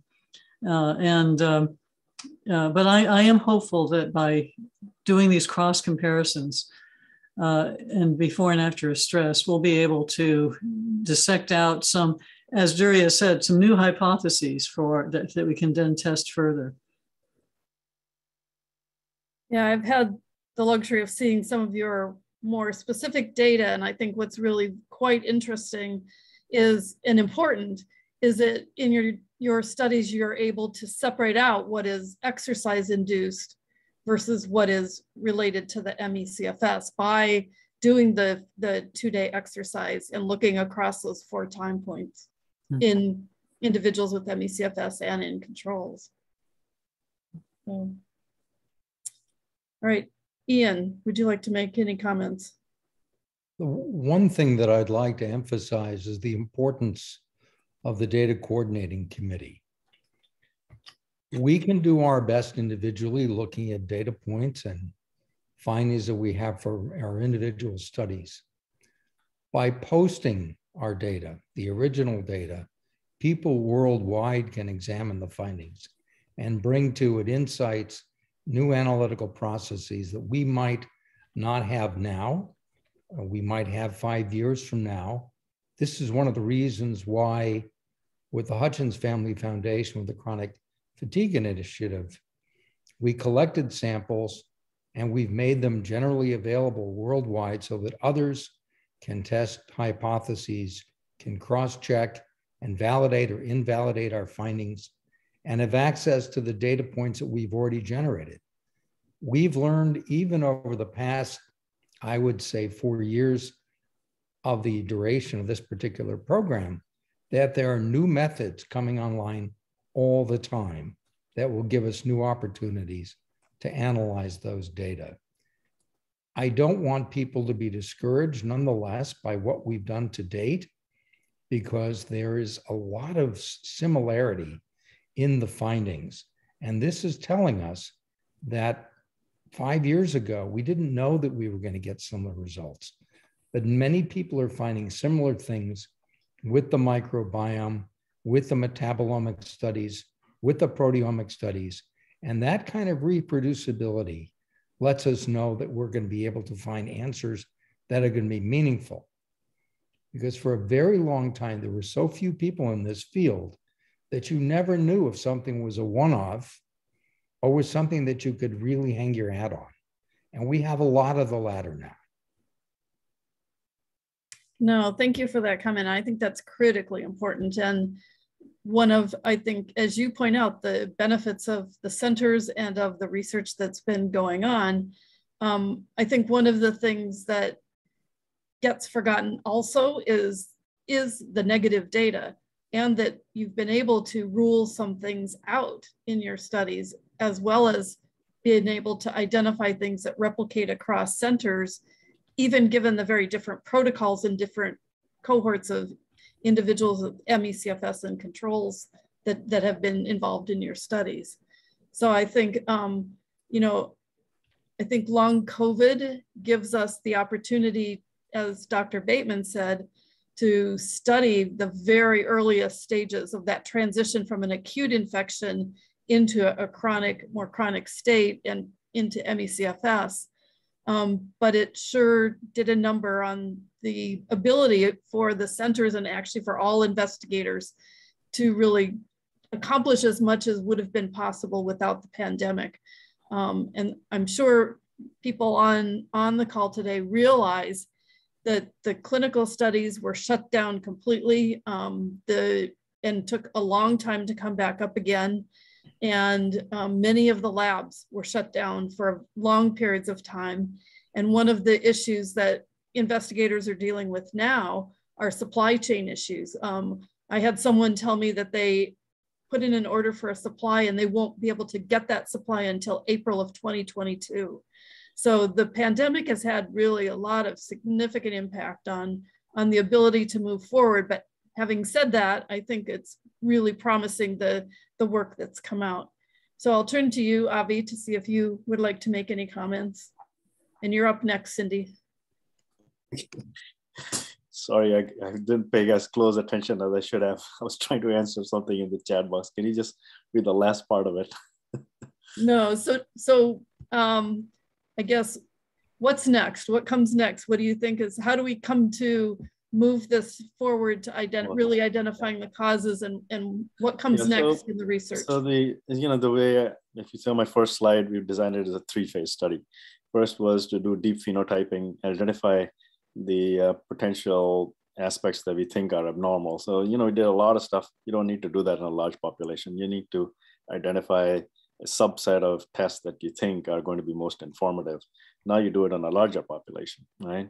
So that allows you to identify, uh, uh, uh, you know, markers that you can use for clinical trials because that's what you really want. The clinical trial will have to be done on a substantial number of individuals. You can't do, you know, 10 patients here and 20 there unless the effect size is huge, and which I don't think we're going to find. I mean, it's very clear that uh, everybody is finding some immune abnormality. And I think if you look at our data closely, we'll probably come up with things that are uh, quite uniform here. So, and we have a lot of immune modulatory drugs that are available. We can block any kind of T cell or B cell pathway that we want. Uh, and so there may be multiple opportunities of modulating them and trying to see how it affects uh, the uh, disease outcome. But currently we're all stuck with clinical endpoints, but we need biological endpoints. I think these biological endpoints are going to come from uh, the kinds of studies that we're doing and then applying them to larger populations. Great, thank you. And Dr. Bateman, I'll give you the last word here. So same question. Same what question. Next. Oh, that's a hard one. I mean, we've survived this and by just being very nimble and flexible and trying to look and see where the opportunities are to move things forward and get involved. Um, I think that, I mean, one thing that's been really good for me is reading and reading and reading the literature coming out about long COVID um, because things ring true, right, from what we've already experienced for the last 20 or 30 years. Um, we are part of, uh, this hasn't been announced, but I'll just be general, but we're part of uh, the, the long COVID uh, funding for uh, centers as a small part uh, with people here in the West, the University of Utah and Colorado and New Mexico. So we're going to keep our foot in the door and keep being a voice. And then I'm looking forward to see what happens from those 40 patients that we enrolled, right, in uh, with Derya and Ian to see uh, what kind of uh, commonalities we can see between long COVID and ME/CFS. And then there's always bigger long COVID data out there, right, for validation. So thank you all so much. This has really been a fantastic afternoon, fantastic panel. I thank all of you for your, your presentations, for your wise thoughts, and mostly for your dedication to research and clinical care on ME/CFS. So thank you all very much. And I'm just going to share my screen here quickly. And you too, Vicky. Thank you.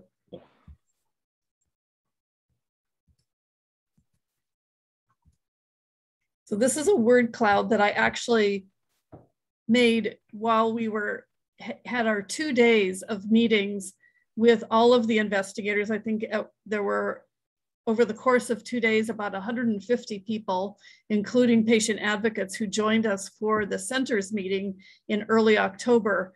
And I just started adding in words as people were talking about various different processes, different systems, different things that they're looking at.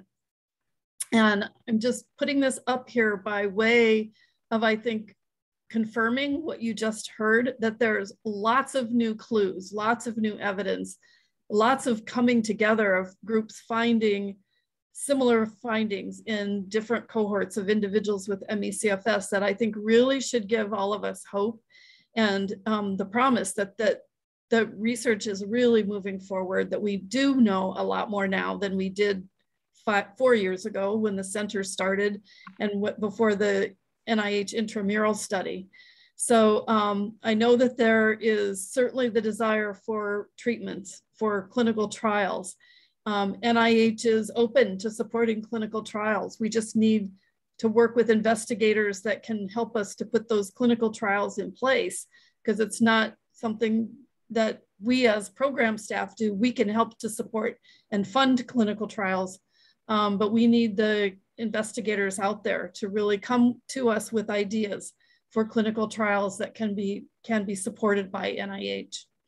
And so with that, I'm going to end and turn it back to Phil and just thank all of you for your attention this afternoon.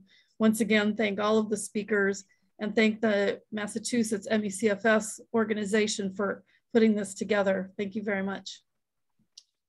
Thank you, Vicky. And thanks to the organizers. This was okay. Well, thank you, uh, Dr. Whittemore. Uh, thank you, all the speakers. I won't reiterate uh, what Vicky said. Uh, she said it quite well.